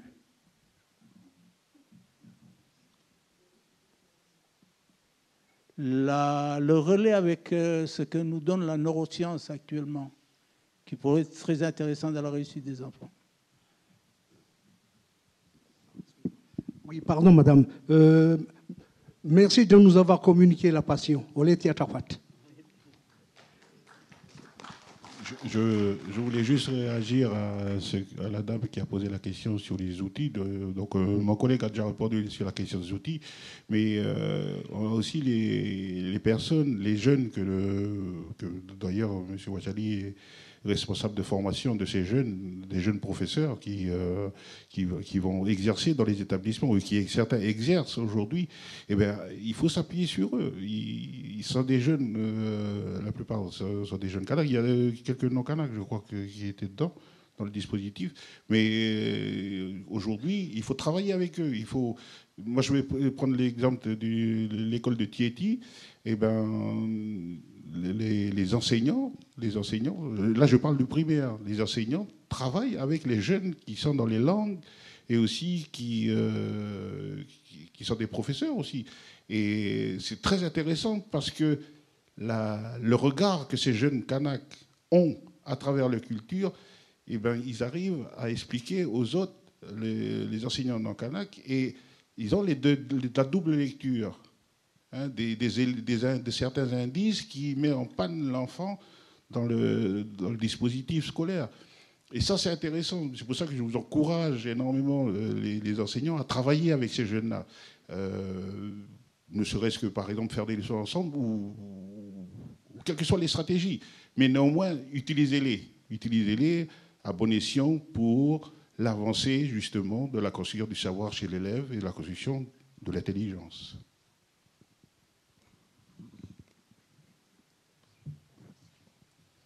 Euh, bonsoir. Euh, euh, D'abord, je voulais vous, vous ici, juste pour vous remercier pour l'intervention que vous venez de faire et puis l'exposition. La codification de ce que vous nous démontrez est très claire. Et puis, je crois que dedans, il y a une date sur laquelle on devrait s'arrêter et puis faire une lecture du passé et une lecture du présent. C'est 1863, quand vous parlez de gouverneur Guillain. C'est-à-dire qu'il faut comprendre qu'est-ce qui a été institué pendant le, au moment de gouverneur Guillain.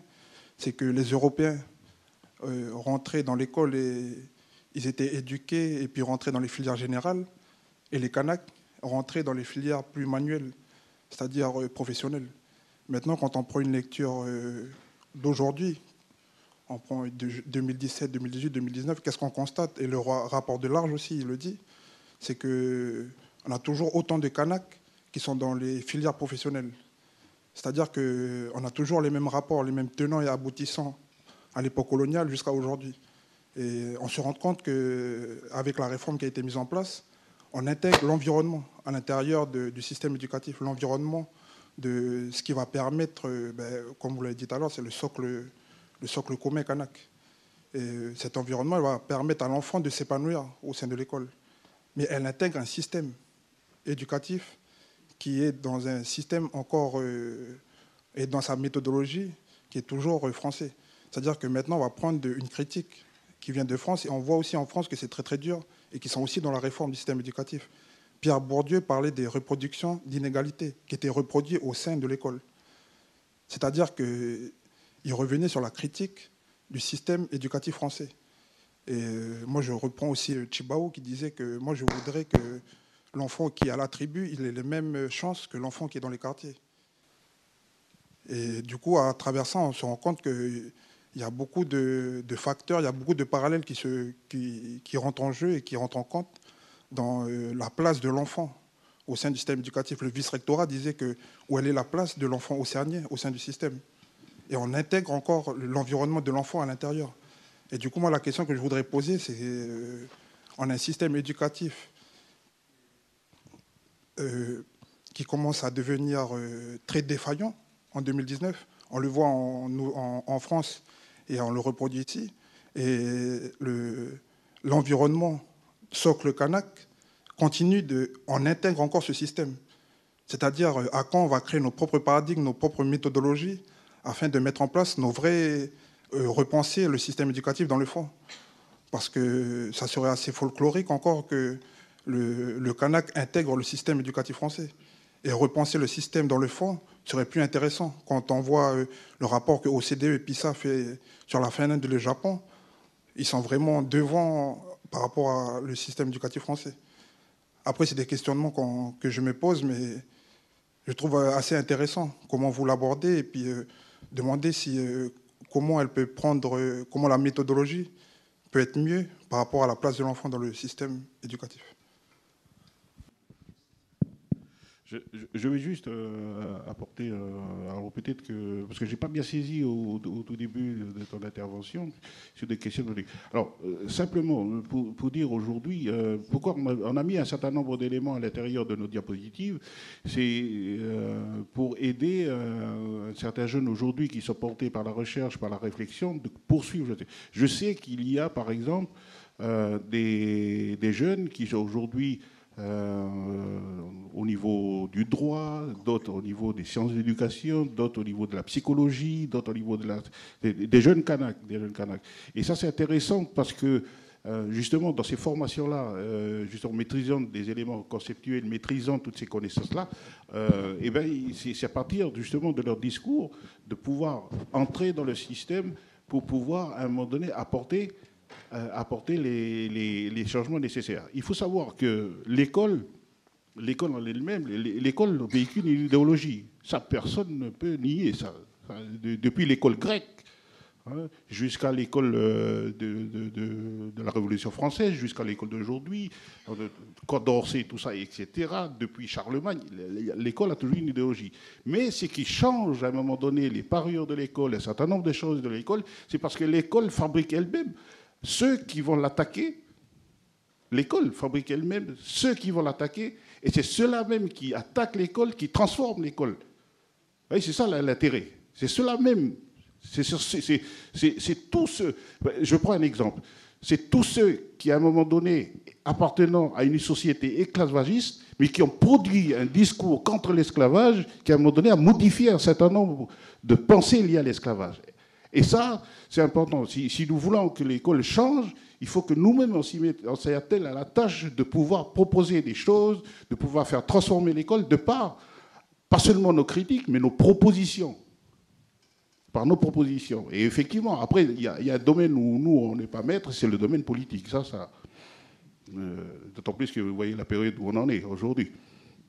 Mais c'est pas pour faire euh, ça. Mais, mais ce qui est intéressant, justement, c'est d'encourager, d'encourager à persévérer dans la pensée, de penser les choses de l'école, de penser l'école et de penser même, de penser même la philosophie de ce que serait l'école pour pouvoir changer l'école. Parce que croire que l'école peut changer d'elle-même, c'est une forme d'utopie euh, incommensurable.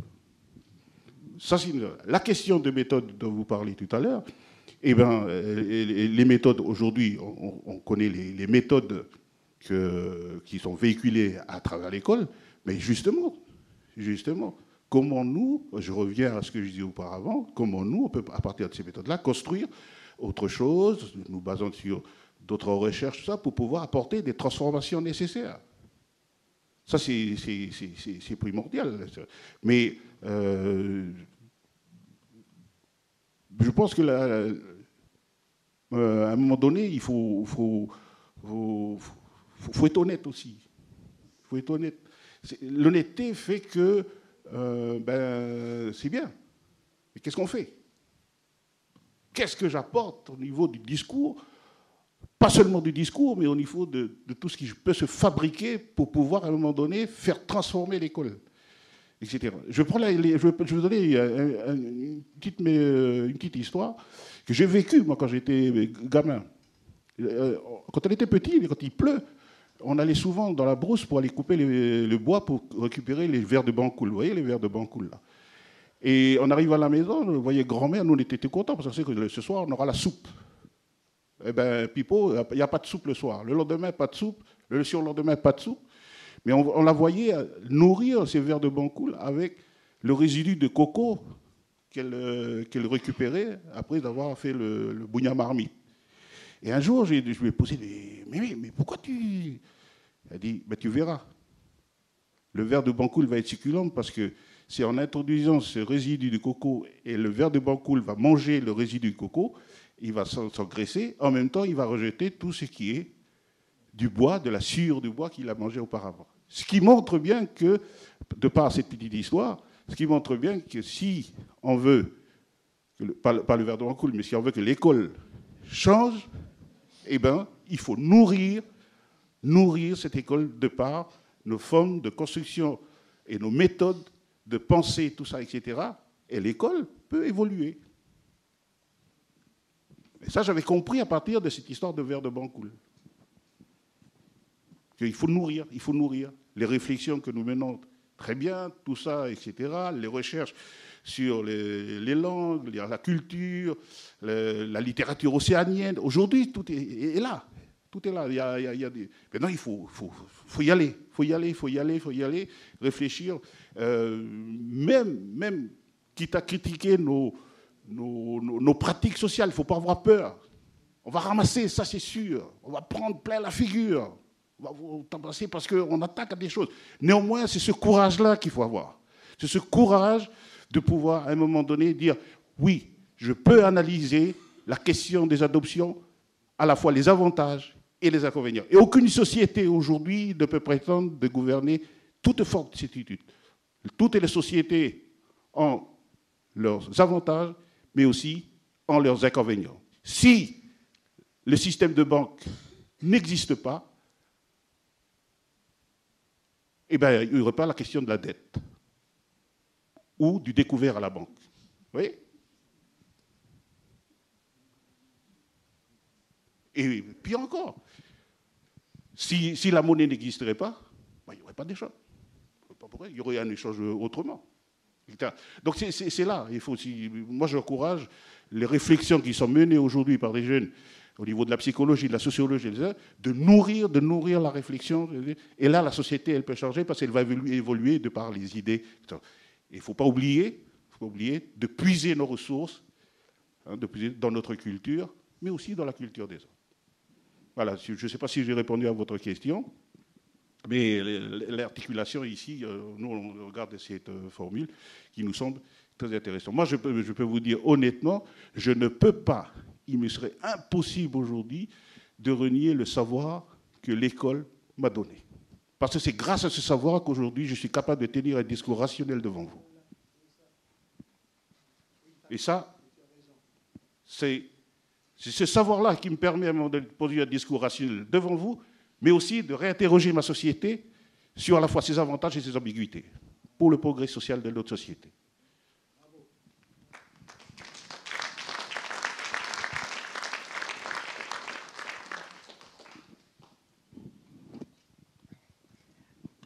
juste peut-être un, commentaire par rapport à ce qui a, été dit. Oui, donc euh, c'est bien le, euh, le défi pour, euh, pour nous, hein, pour, euh, pour demain. Donc, c'est de peut-être être plus dans la production et non plus dans la reproduction, hein, donc, de ce que disait Bourdieu. Et donc, nous, on a parlé d'innovation, donc c'est une proposition, mais comment on innove?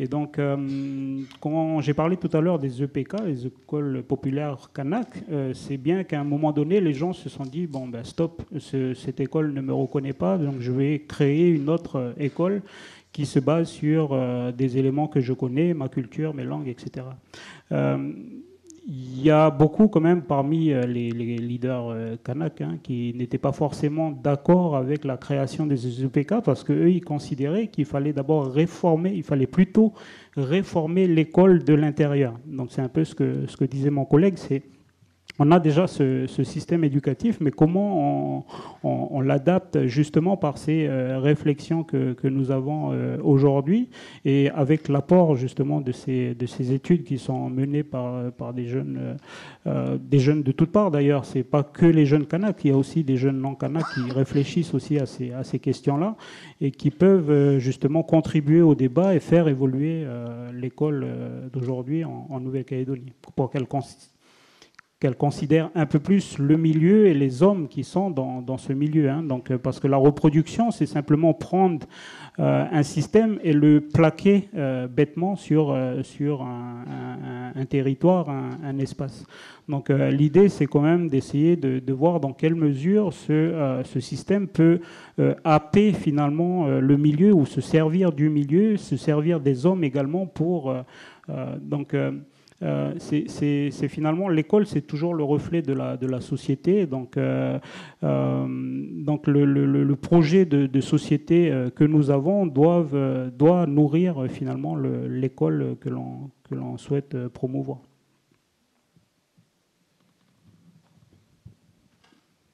je voulais d'abord répondre à la question qu'il a posée sur la méthodologie. Et quand vous parliez, ça m'a donné une idée. Euh, si votre grand-mère, euh, elle vous a tenu euh, en observation pendant 3-4 jours, avec cette curiosité qui vous a permis de retenir à tout jamais la leçon qu'elle vous a apprise, c'est peut-être comme ça, c'est peut-être une des méthodes pédagogiques qu'il faudrait prendre de votre culture, à savoir qu'on ne donne pas la réponse tout de suite on laisse le gamin en attente. Et ça, je croyais que vous alliez euh, retomber sur la pédagogie, mais vous avez retombé sur la richesse de ce que vous a appris votre grammaire. Mais moi, ce qui m'interpelle, c'est, vous vous en souvenez toujours, mais quelle chance C'est une façon de fixer dans la mémoire les choses qui est extraordinaire. Peut-être que ce garçon peut réfléchir là-dessus. Une des méthodes pédagogiques à remettre en, en, en branle, c'est peut-être cette envie de savoir qu'est-ce qui se passe au bout, pourquoi est-ce qu'on fait un truc dans une école et qu'on ne comprend pas ce qu'on fait jusqu'à ce que le gamin y demande. Et quand le gamin demande, effectivement, la curiosité est suffisamment exacerbée pour qu'il s'en souvienne toute sa vie. Voilà, ça c'était pour euh, les méthodes pédagogiques. Il y en a d'autres. Moi, je suis surprise de l'observation. Euh, enfin, on se rappelle à travers le corps. Je veux dire que le corps est super important. L'attitude du corps est super importante. Je, me rappelle toujours cette lecture que j'avais faite. Euh, c'était quand il y a eu euh, Mélanésia 2000. Pour apprendre, il y avait un groupe qui devait réciter toute une généalogie. Et en fait, euh, à la tribu, ils le faisaient très très bien. Ils étaient tout un groupe ils dansaient et en même temps ils récitaient la généalogie. Et quand ils ont voulu enregistrer, parce qu'on voulait enregistrer pour euh, que la musique soit plus forte, enfin je sais pas, en tout cas ils ont voulu enregistrer, et ils ne se souvenaient pas de la généalogie. Et en fait c'est avec le rythme euh, qui porte au pied, là, les choses que vous portez au pied, qu'ils avaient appris toute cette longue généalogie. Et, et, en fait il a fallu que tout le groupe descende et qu'on mette euh, les choses qu'on met autour des pieds et que le rythme leur permette de retrouver les mots. Eh bien, je veux dire, c'est ça aussi. Est-ce qu'à travers cette méthode pédagogique, on ne peut pas innover? Il y, a, plein de choses qu'il faut se rappeler dans votre façon d'apprendre, qui est peut-être à remettre dans une innovation pédagogique. La dernière chose que je voulais dire, et ça c'est très capitaliste, oriental, occidental, etc., c'est aux États-Unis, ils ont essayé parce qu'ils n'avaient plus de sous, ils ont essayé d'enlever le bilinguisme dans les écoles de Los Angeles, où c'est du bilinguisme parce que la plupart des gens sont à moitié, pour la plupart espagnols, enfin latino-américains, et l'autre moitié angliciste, anglais donc. Et quand ils ont enlevé, le taux de délinquance a monté d'une façon fulgurante. Et la seule façon qu'ils ont retrouvé d'avoir un taux de délinquance habituel, ça a été de remettre l'espagnol dans les écoles. Le bilinguisme est un bien, je veux dire, il reconnaît l'identité de l'autre et on est beaucoup moins perdu quand on sait que sa culture est respectée et qu'on apprend aussi la culture de l'autre.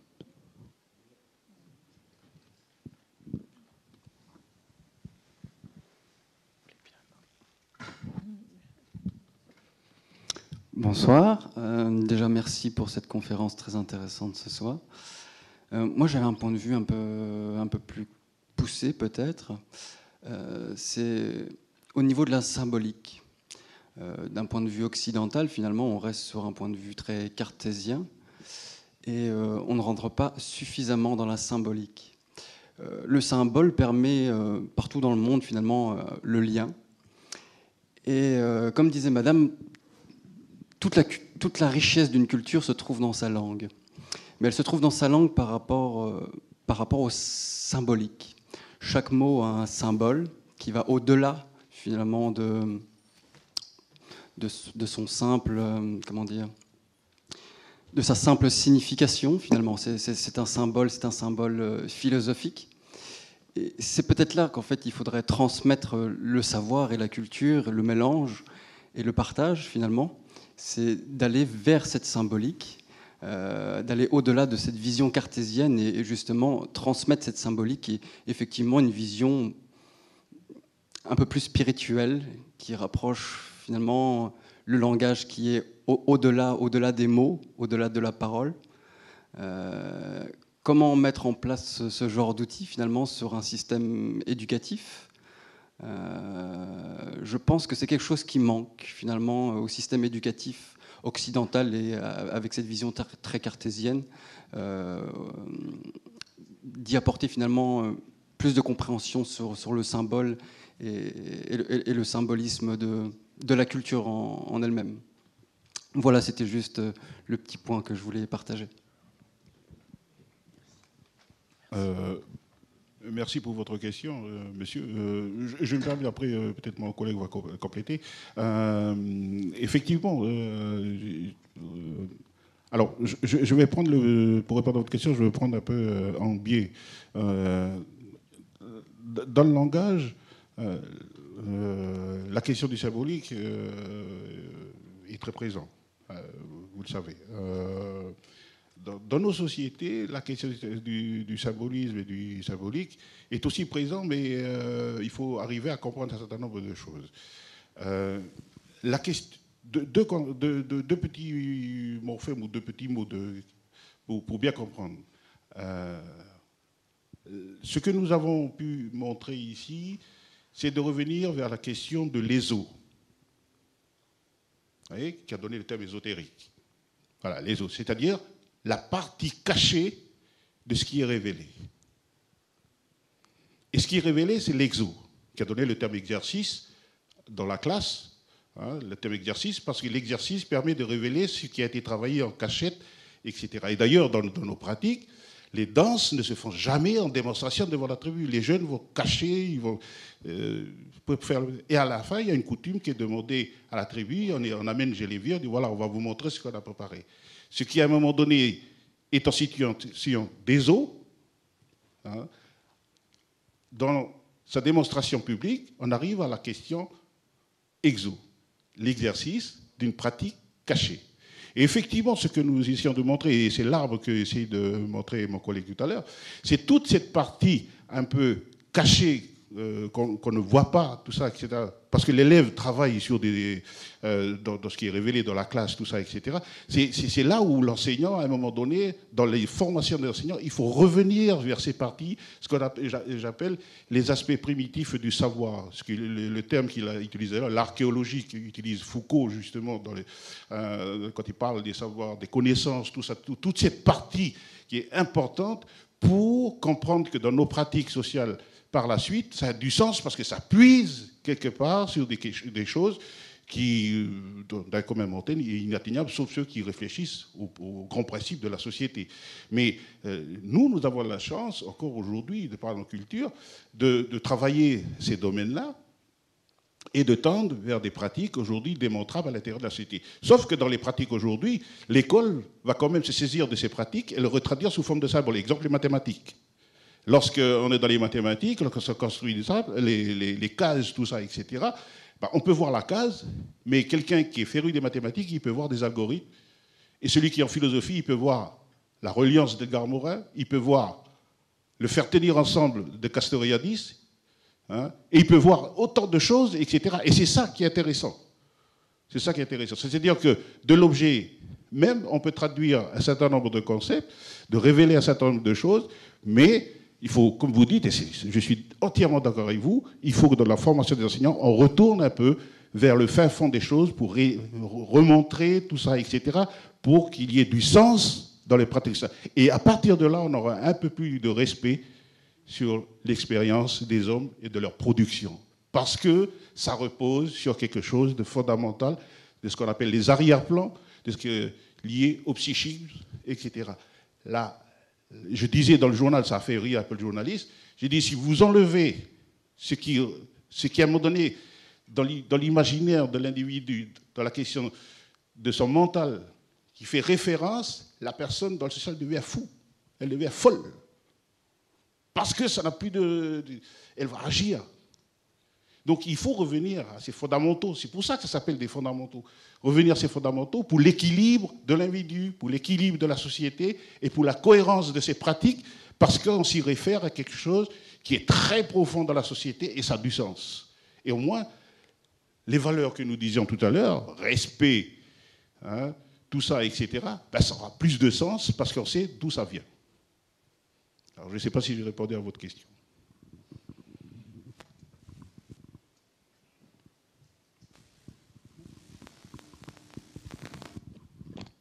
Fabrice, tu voulais compléter on, va se quitter sur ces notions d'ESO et, d'exo? Moi, je voulais juste rebondir là-dessus pour euh, mettre un, terme à cette conférence. tout à l'heure, il a été dit que pour enseigner, il fallait comprendre d'abord. Alors, indépendamment des outils pédagogiques euh, dont il a été question ce soir, je crois qu'il y, a beaucoup de matière déjà euh, dans les médiathèques et, comme par hasard, dans la médiathèque du Centre culturel Chibaou, avec des outils, des supports différents. Alors, bien sûr, des livres, des thèses, etc., mais aussi toute la collecte du patrimoine oral qui est assez riche, euh, toutes ces choses qui sont collectées sur le terrain et qui sont ensuite rendues à travers les outils modernes et qui peuvent éventuellement aussi nourrir la, réflexion ou l'action. Voilà, je, vous laisse là et puis je précise simplement que la prochaine euh, opération médiathèque, ce sera le 9 mai, ce sera la projection d'un film australien, dont vous avez peut-être vu l'affiche à l'entrée. Ça s'appelle Free Summer, c'est une comédie. Encore merci aux personnes courageuses qui sont restées jusqu'au bout parce qu'il est très tard. Et puis à bientôt peut-être.